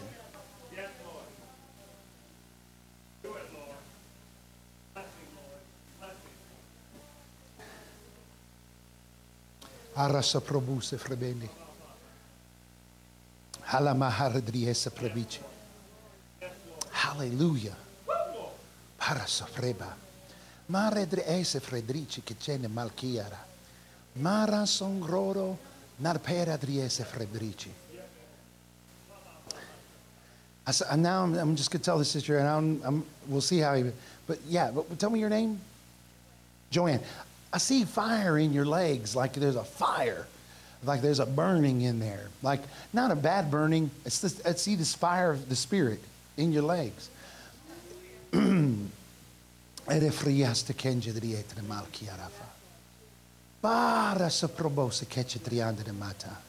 It's like I see the opening up of, of uh, blood vessels, like uh, like there's a there's a there's a restoring of and and I don't I don't think you've had like major circulation issues, but I see God opening up some things in the in the circulation of your legs that are going to alleviate some maybe some some um, I would I would call them you know sometimes uh, I, I refer to it like as afflictions because some people they have infirmity.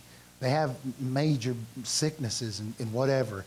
And you you may you may be battling something in your life but it's like little afflictions maybe something that some pangs or something in your uh, that happen every now and again or so, but I related to circulation and see the Lord and the fire of God working uh, in you to uh, to fix in the name of Jesus.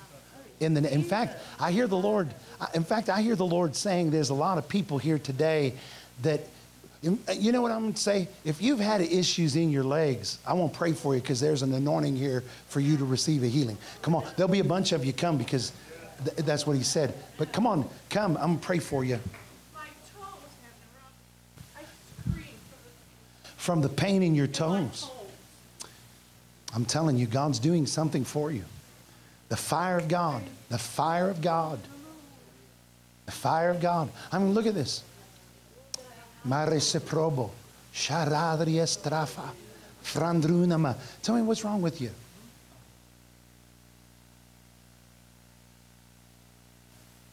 Tell me what, tell me what neuropathy is. Somebody.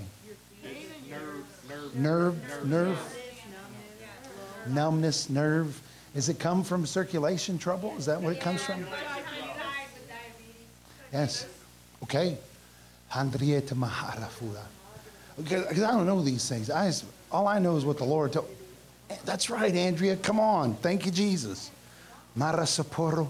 Come on, y'all, y'all come in here. Straight line, get Yeah. each other. Thank you, Cherie. She's helped me out. If there's not room, just wave She got what? Go to your seat as quickly after God Thank you, sir. you, that Lift up your hands to him. I'm going to pray for you. Father, I thank you today. Lisa get to feeling the Holy Ghost. She just gets on her knees, man. She's like, I'm feeling it, man. I'm down here. Amen. Thank you, Lord, for touching these people. Lord, I thank you. I thank you. I thank you. Arabose, Chadabaya, Shoyaya Korosobo. Now, in the masa, in the name. Now, for the glory of God. In the masa, in the name of Jesus. Shoyaya. Ho. Sabaha. Tachapore. Que le sea. Ona masa. Come here. Lift your hands to Jesus. It's okay. Lift your hands to the Lord. I thank you, Father. Touch those eyes. Yayo, namase, now, in the masa, in the name. Arabase, hoo, ha ha ha ha. Barasobongle, double dose in the name of Jesus. Badase.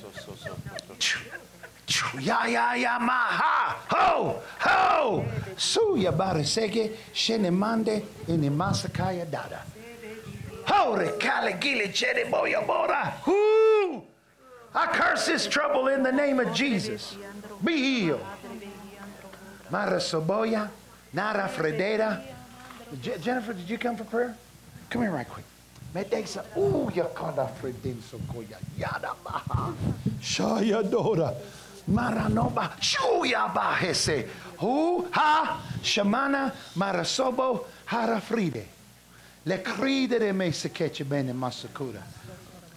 Ya ya sobo. Woo. Ha ha ha. Nana masa pano monse que jede bedi. Harasifeda. Ya ya sobo. Woo. Hala ha. Woo.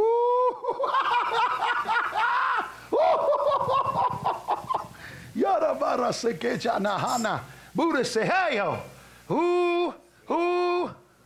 Mara Sekeche. Oh, Andrea. Nanas, I didn't even think about you over there. Harisomono. And in Masiba, I command you to let her go in the name of Jesus. We said, Mr. Cora, I agree with Andrea. I agree with heaven. Lord, I'm hearing, I'm hearing ringing in my spirit that enough is enough. Enough is enough. Enough is enough. Enough is enough. Oh, enough is enough. Korosobono morose, aradruesa paradride, arendre ene mosacare, brusomoromdne marengrigi, rectelebre. Eh, you know what I hear the Holy Ghost saying?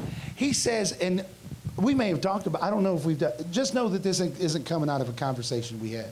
So we've talked about this, I don't remember it. But I hear, I hear the Lord saying that the enemy for, has work, been working against you a lot. But specifically, I'm seeing the last four years. And he says, the Lord says that what the enemy has tried to work to do is to get you to embrace a spirit of infirmity that was that's a generational thing. That it's the hope of the enemy to get you to embrace something that it seemed like everyone that, that there were ones in your family that it was they it was like they inherited it and then they passed it down as an inheritance to others and but the lord says this the lord says the reason why you've endured what you've endured is because you've been resisting the acceptance of this thing the devil's trying to persuade you that you're weak in faith but the lord says you're not weak in faith so, so God tell me tell you this. You are not weak in faith. That's a lie. It's a lie from the pit of hell. The enemy would like for you to believe that somehow or another uh, that you're missing it. The Lord says you're not missing it, you're being attacked. This is an attack from hell. But I, but I hear God saying this. I hear God saying that um, some of the gaps that were in the, uh, they, they, we, we talk about standing in the gap and making up the hedge. Some of the gaps in the hedge that the enemy had tried to, you know, trying to get through. I hear the Lord saying those, I may have told you this before, that those, some of those gaps are being sealed up But I hear God saying that this year won't finish out before you see. It- he says you won't be 100%, but the Lord says you will be nearly 100% by the end of this year because of what God does in you this season. He says, uh, He says some of it will come and it'll come through moments of obedience, something that you do out of obedience to God. Some of it will seem to come because someone says, Hey, oh boy, I feel the Holy Ghost. He says, uh, some of it will come because someone will say, Hey, I heard this, and you'll and you'll implement it, and some of it will seem natural. But I hear the Lord saying this, He's in all of it. And uh, but the Lord says that the four it's like a four year battle is over in the name of Jesus. This year comes to an end. Thank God. So, Lord, I release that today in the name of Jesus. I thank you, Father, that the work is being done. Que le se preda, rumara fredriexe preshedrieda, orondronolo viara kataya, arfedriexe freda. I hear the Lord saying that you're going to, there's going to come a time here, it's coming soon, that you're going to try to attribute what you're going through to something else that, that you have physically. The Lord says He's not going to let you attribute what you're going through to anything physical anymore, or because the enemy, he, he said, what you don't realize is that the enemy is trying to get you to blame yourself for what's going on with you. The Lord says, You are not to blame. He said, Hell is at the root of what's been going on with you. And the Lord says, I've given you use of my name. The Lord says, You're going to carry my name. God says, And these things are going to bow to the name of Jesus. Amen. Thank God. Hallelujah. Thank God. And it's Sohara Bruseda. What? Tell me your name. Xander. Xander. Que le supra. Shenema supoya. Harasuye. Hanamara atabare base the cara free. Bere hia ho. I'm to push on you, but not so you'll fall. Just because I feel like yeah. Shoo. Shoo. Yama sobora. Yo ramosu kalalfide. How ramose keche mande masada. I do something for Xander today, God, in the name of Jesus. I thank you for it, Lord. Amen. Amen. Amen. What's, tell me what they, what's wrong in here.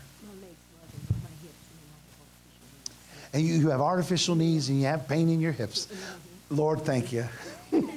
thank you for what you're doing today. I declare healing in the name of Jesus. Be healed in the name of Jesus. Watch her. Kathy, let, let Show ya maraso. Burro sokoyo borese. Inemasa koroso bongelejea. For the glory of God in the name of Jesus. Oh, yenana. Bresen genjige. I want the anointing. Yes, I know. Kalesiha. Whew. Sh- Haya. Boriso. Boriso corre beheta. Marasegeja. Menesihane mestrefa. Boroso bonge legia.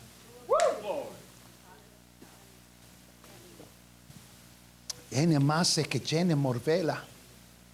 Uh. no, raso. Maro. Shuriaya borase. Bure peteda. I loose the fire of God's Spirit on you now. In the name of Jesus. In the name of Jesus. Lord, I thank you. God, I give you glory. I give you glory, Lord. I give you glory, Lord. We honor you today, Father. For the glory of God. For the glory of God in the name of Jesus. I thank you, Father. I thank you, Father. I thank you, Lord. That's your mama, right? That's your.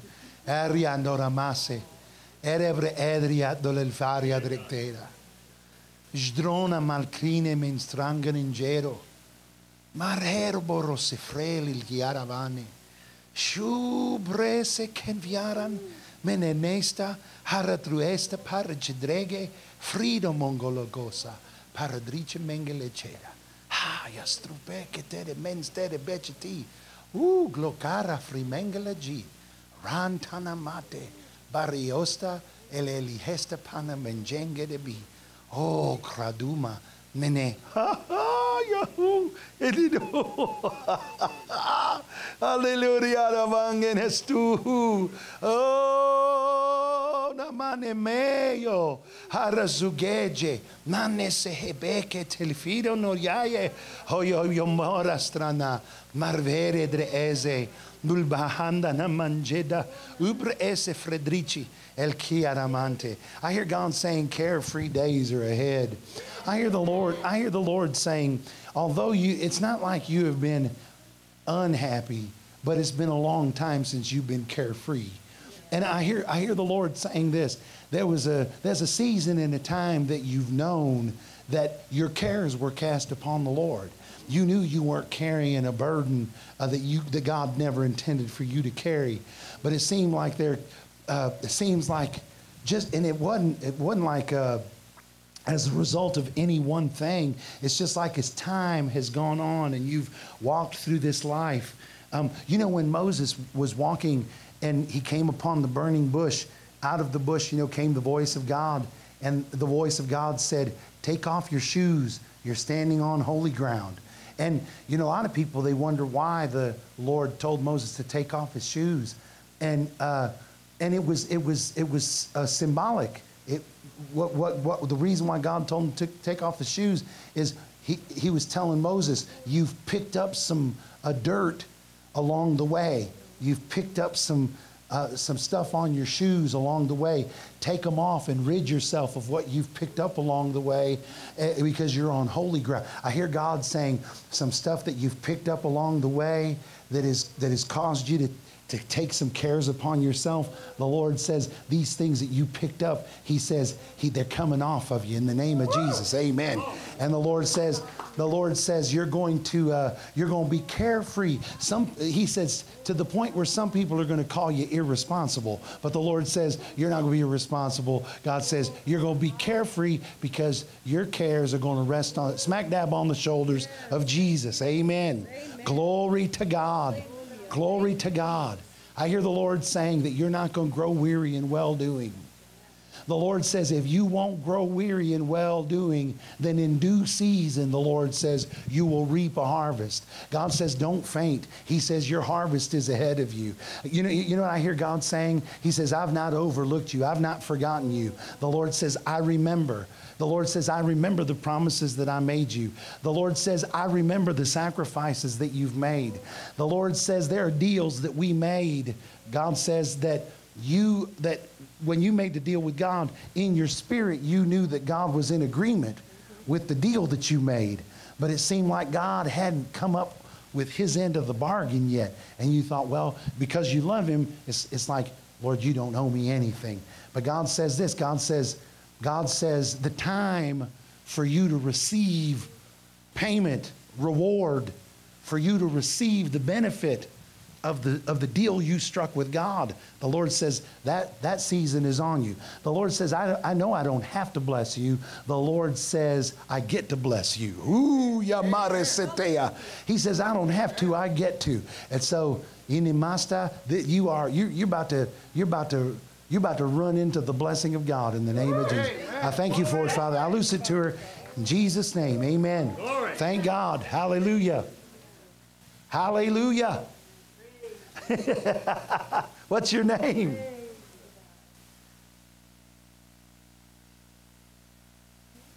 Her name is. Alyssa. Oh, Alyssa. I thought it was. Alyssa. Hala subreda. How is she to you? She's my granddaughter. Awesome. Mm-hmm. Yes. Lord, touch Alyssa today. Yebasit on mayana fratru baharatura lepre isa pongelinjeda. Or do for her what you did for me. Touch her, God, with the fire of your spirit. Lord, may she, uh, may she be arrested by the Holy Ghost today. May it leave an impression on her that she'll carry all the days of her life. God, I pray that you'll set her apart today. Set her apart today for your glory. Mark her today, Lord. Mark her with the Holy Ghost. Mark her with your fire, God. Yes. Brand her with your spirit.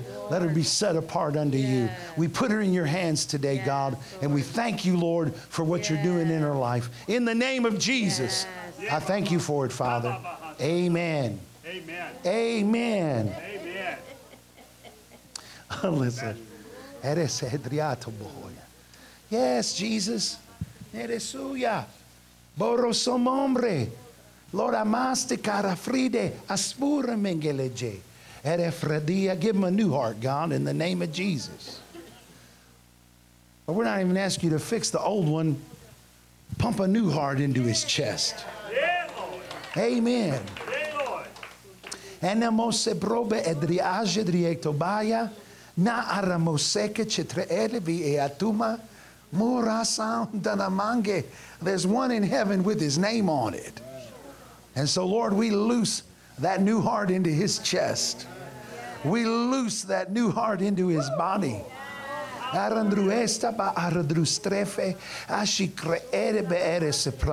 You got a pro- you got a prophecy and it wasn't a it wasn't a godly prophecy. The word was that your uh, that your health would deteriorate and that your organs would begin to follow and they would begin to weaken and they would begin to deteriorate and you would grow weaker and weaker. But I have a better I have a better word for you. A, it's not a word from doctors, it's a word from heaven. See, I hear I hear the Lord saying this. I hear God saying I hear the Lord I hear the Lord tell me to tell you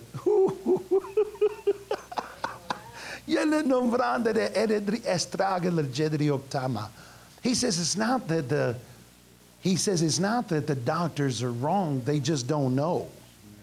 En mer peretri astrabunglara mar jedria. I hear God saying he's going to put you on a schedule. The Lord says you're to follow the schedule of God. I hear the Lord saying that you don't like to follow schedules, but I hear God saying it's time for you to begin to follow the schedule that He provides for you. But I, I do hear this I hear God saying He's strengthening your organs. Your lungs are being strengthened, your kidneys are being strengthened, your stomach is being strengthened, uh, your, uh, your, your arteries. They're, uh, they're being opened in the name of Jesus and in mostreba arfendrianglara the plaque that's in your uh, in your system is being removed in the name of jesus your liver is being touched right now in the name of Jesus. Morosobrobo. I see the hand of God on your intestines right now. The- every major organ in your body is being touched right now by the power of God. I hear the Lord saying that He's infusing you with new life. New life in the name of Jesus. I thank you for it, Father, in Jesus' name. Ro- Robert, is it? Yes, and you receive it in the name of Jesus. Are suprebetriece malacarido, hori samana marabase. I thank you for it, Lord, in the name of Jesus. Amen. You're not growing weaker and weaker. You're growing stronger and stronger in the name of Jesus. And I'm there's a scripture that says this, and the house of Saul grew weaker, but the house of David grew stronger. Amen. Amen. That's you, bro. I'm only 25. So. Only 25. Amen.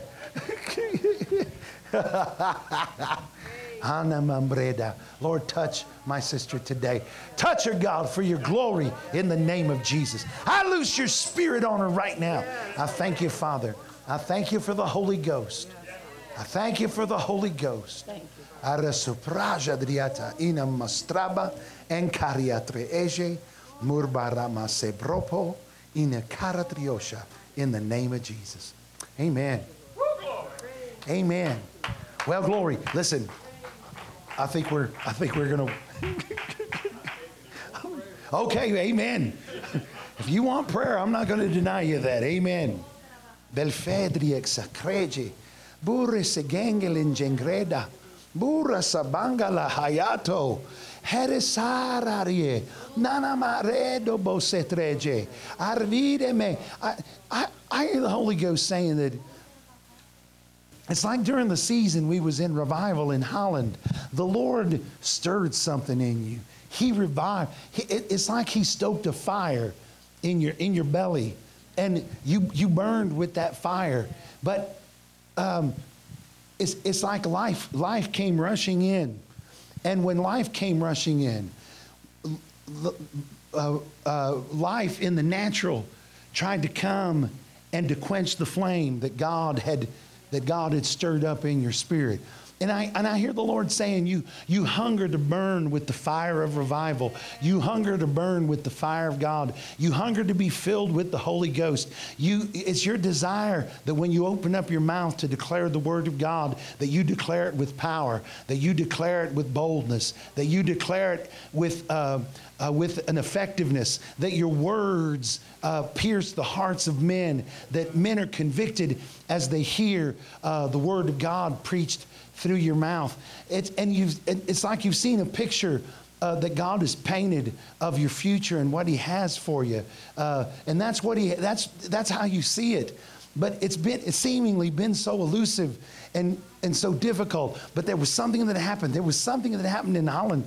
Something happened that ignited that, and you saw you was like, man, that's it. That's that's it right there. And I, I hear the Lord saying this. He says, hoo, hoo, hoo. He says, uh, he says what he did in you. He says he did in order that you might know that what was what you had dreamed, what you had uh, what you had seen, only seen in your in your spirit, but never saw manifested. The Lord said, I manifested in that time so that you would know that it wasn't just a dream, that it was a reality that I had birthed in you, that I had that I had put in you, that I had that really set you apart.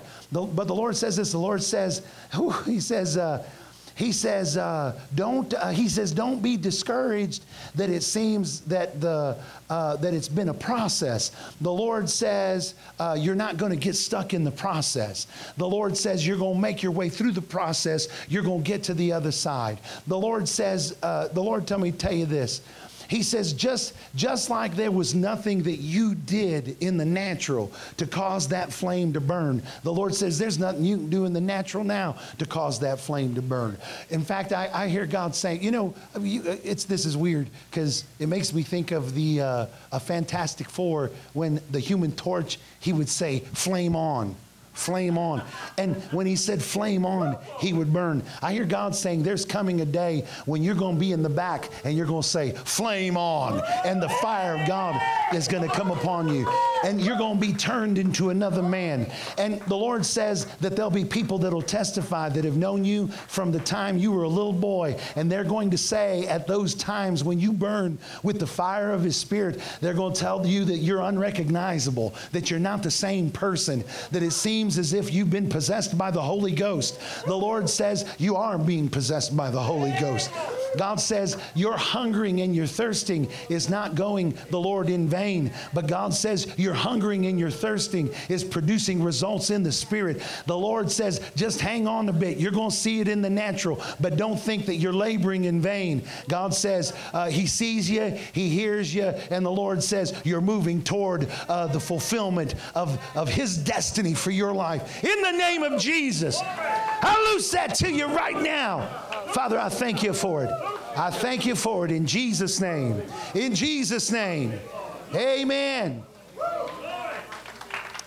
Haribose. Yele lora davane manzada. Perfect. Come close. Kesheda. Who? Senebreda. Horimo. I just want to put my foot up. Keshia. Ale secreda. Lilenia Monsana. Ari andono mosebra. Here's, Lord, tell me, tell you, you're doing good. You're not, you, he says you're way too hard on yourself. The Lord says you're way harder on yourself than I've ever been on you. I hear, I hear God tell me to tell you this. He says, quit blaming me for you feeling bad. The Lord says, I'm not making you feel bad. He said, that's you.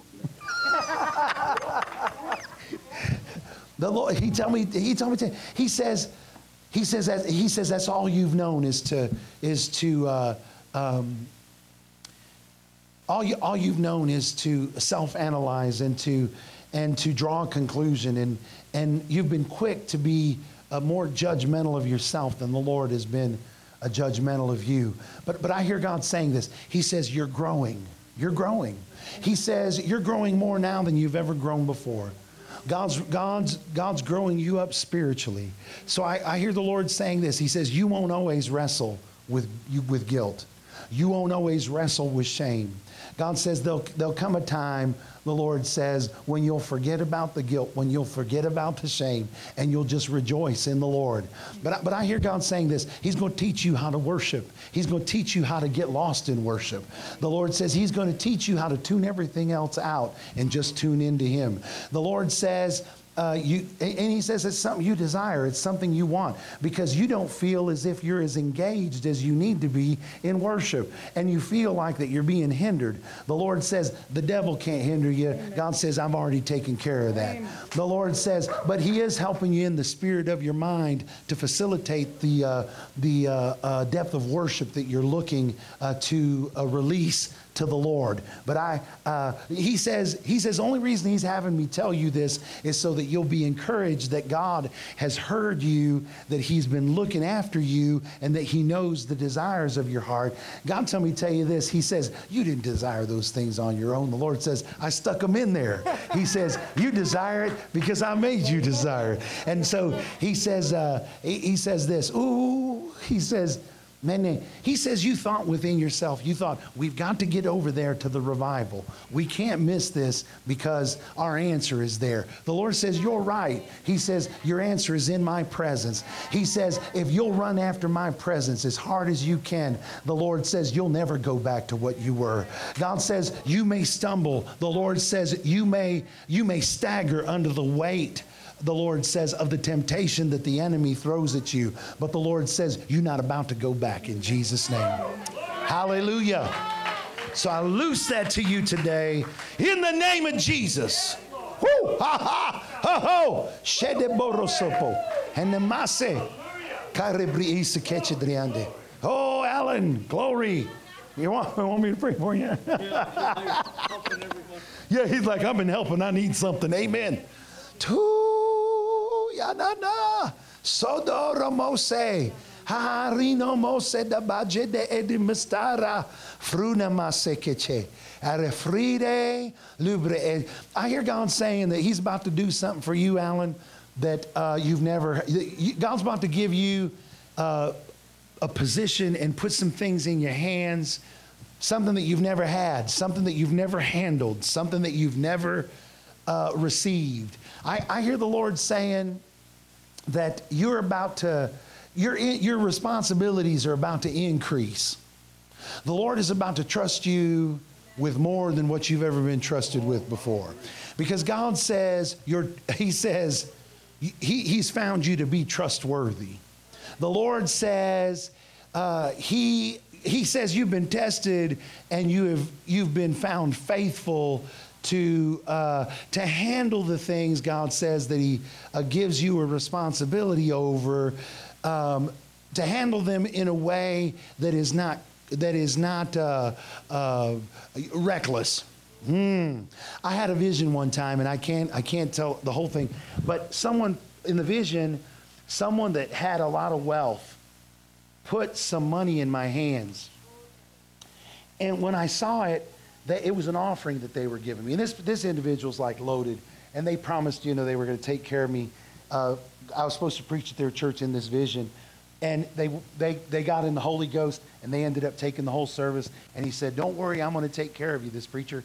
And it, it, it, you're going to hear this, and you're not going to know what the vision meant. But anyway, I, I have to tell you this part. So he kept telling me, I've got something, I've, I'll take care of you. Don't worry. Even though you're not preaching, I'm going to take care of you. I'm going to bless you. Don't worry about it. And I was like, I'm not worried. Just go on, brother. And so uh, when we left the service, he said, Here, I told you I'd bless you. And he handed me three bills. And they looked like they were uh, $5 bills. But when I examined them, they, they, they, uh, uh, I, I didn't examine them well because when someone hands a preacher money, you have a tendency to not want to look at it and make people feel. Yeah, yeah, you just kind of. And so that's what I did in its tradition. That, that's what it represented in the dream religious rigmarole. And so uh, in the dream, I took, it looked like $5. I folded it in, I folded it once and then I folded it twice and I stuck it in my pocket. I was like, praise God, thank you, brother, you know. And I got in the car with Brother Ted. And when I got in the car, I was thinking in my mind, I thought, boy, this guy, he's supposed to be uh, all this supernatural increase and all this, you know, walking in wealth. And I know good and well he just handed me $15. I thought, I mean, he's supposed to be the money man. He handed me $15. That's what I'm thinking. And so I pulled the, I pulled the money out of my pocket. And when I looked at it, it was three $5 bills, but those $5 bills looked different, like they were collectible, like they were rare. And I collect, I collect comic, I collected comic books. Now I collect comic books. But the, the, uh, uh, a comic book is graded by the condition that it's in. Money is graded that way too. The value it devalues if you fold it, if you bend it. And so I looked at it, I said, oh no, this is special money. It was worth way more than face value. And I thought, my God, I've ruined it. And I started trying to straighten it out I, I, because I didn't treat it right. I didn't treat it right. And then in the vision, I was, I was, I was caught up in another vision. And this preacher that had handed me that money, he's standing with uh, Brother Hagin.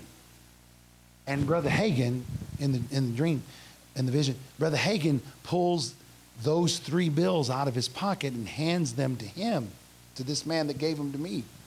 And, and he takes them and he examines them and he realizes what they are. Then he turns around in the vision and he looks at me. He said, What I gave you wasn't regular, it was special. He said, quit treating what's special as regular. He says, uh, he says, Brother Hagin gave it to me. I'm giving it to you. And so I, I didn't, in the vision, I didn't treat right. So the Lord was telling me, be careful what I've, here's what I hear the Lord saying.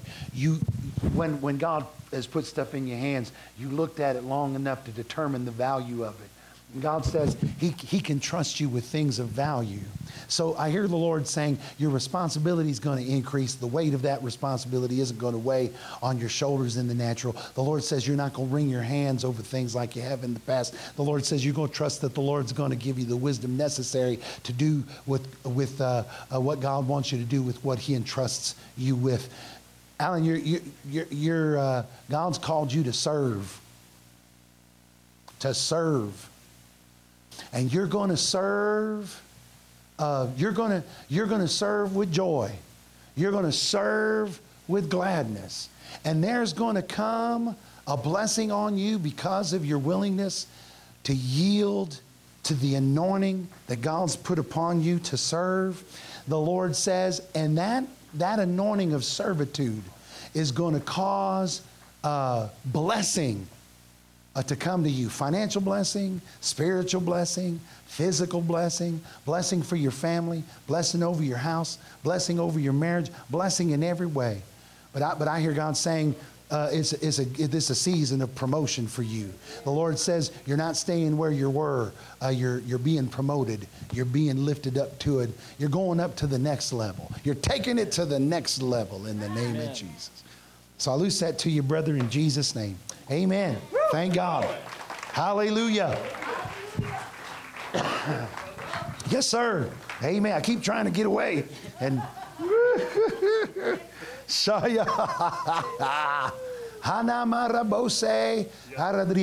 Now, I may have told you this before. I see, I see different streams of revenue coming into your.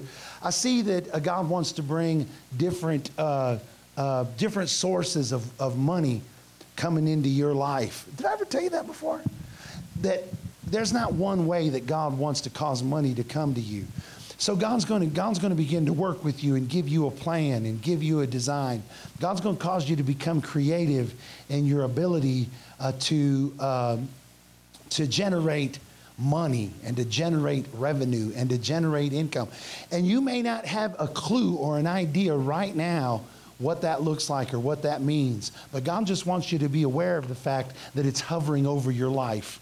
That uh, there will come a moment and a time when it engages, when you become engaged in it and it becomes engaged in you.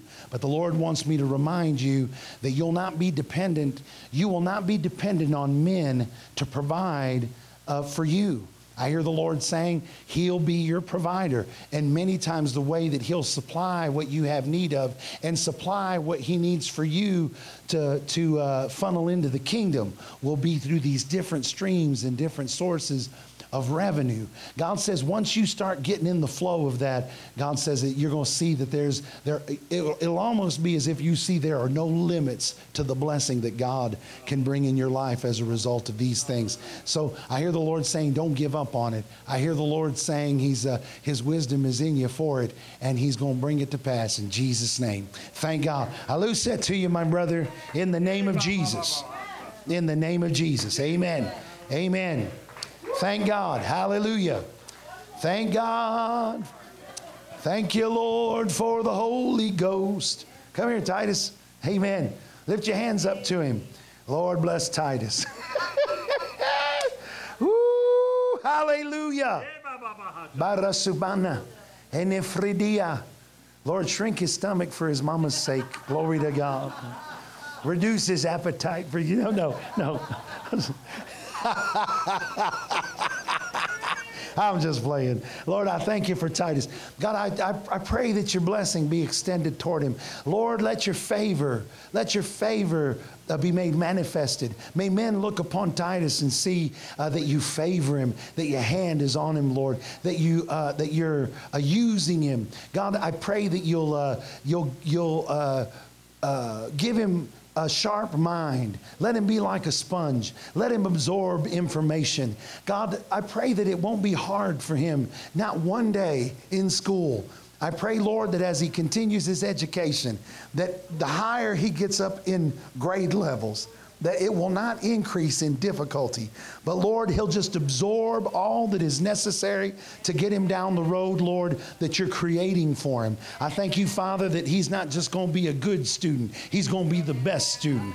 I thank you, Lord, that he's going to rise above uh, his fellows. I thank you, Father, that those that he are his classmates, that, that he'll be the one that they look up to, that they admire, that they desire to emulate. Lord, let him be a leader and not a follower. God, let him lead people. And as he leads people, may they lead them to the foot, may lead them to the foot of the cross in the name of Jesus. I thank you, Father. I loose your spirit on him. And I thank you, Lord, that the anointing uh, is resting mightily upon him. In Jesus' name, amen. Amen. Thank you, sir. Well, glory. How many of you received something today? If you didn't, there's always tomorrow. Amen. For God is good. What a mighty God we serve. Hallelujah. You know, we ought to sing it. Amen. Amen. Thank you, Lord. Hallelujah. Hallelujah. Let me make sure we're done here. Thank God. Glory. Yeah, let's sing. What a mighty God we serve. What a mighty God we serve. All the angels bow before him. Heaven and earth adore him. What a mighty God we serve. Oh, what a mighty God we serve. What a mighty God we serve. All the angels bow before him. Heaven and earth adore him. What a mighty God we serve. Amen. He's a mighty God. Amen. Thank God. Brother Dameron, come, will you? Listen, I love you guys. We're back here tomorrow. I know I'm keeping you long, but you'll live. It'll, you'll make it. Amen. It's not a big deal.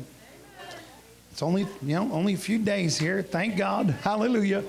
But come back tomorrow. Come with expectancy. Now, listen, I know some of you are like, well, you know, what are you going to preach on tomorrow? Because I want to know if it's going to be worth my coming. Oh, it'll be worth it. Amen. Amen. Amen. I mean, because because you know some people have their preference. You know, if you're going to get up and spit cotton, we want to be here. I mean, if you're going to get up and shout like you know, get all Pentecostal, we want to come. We like that. But but here's the thing: let's come and let's let the Lord do what He wants to do. Let's come. Let's come expectant, but expecting that God's going to have his way. Amen. Thank the Lord. So, tomorrow, same time, 7 p.m., we're coming with expectancy. Invite someone to come. Bring someone that you know needs a touch from God. I'm going to be here. I'm not going to miss it. Amen. So, you come too. Amen. Praise God. Hallelujah. Hallelujah. Don't don't let service just end here.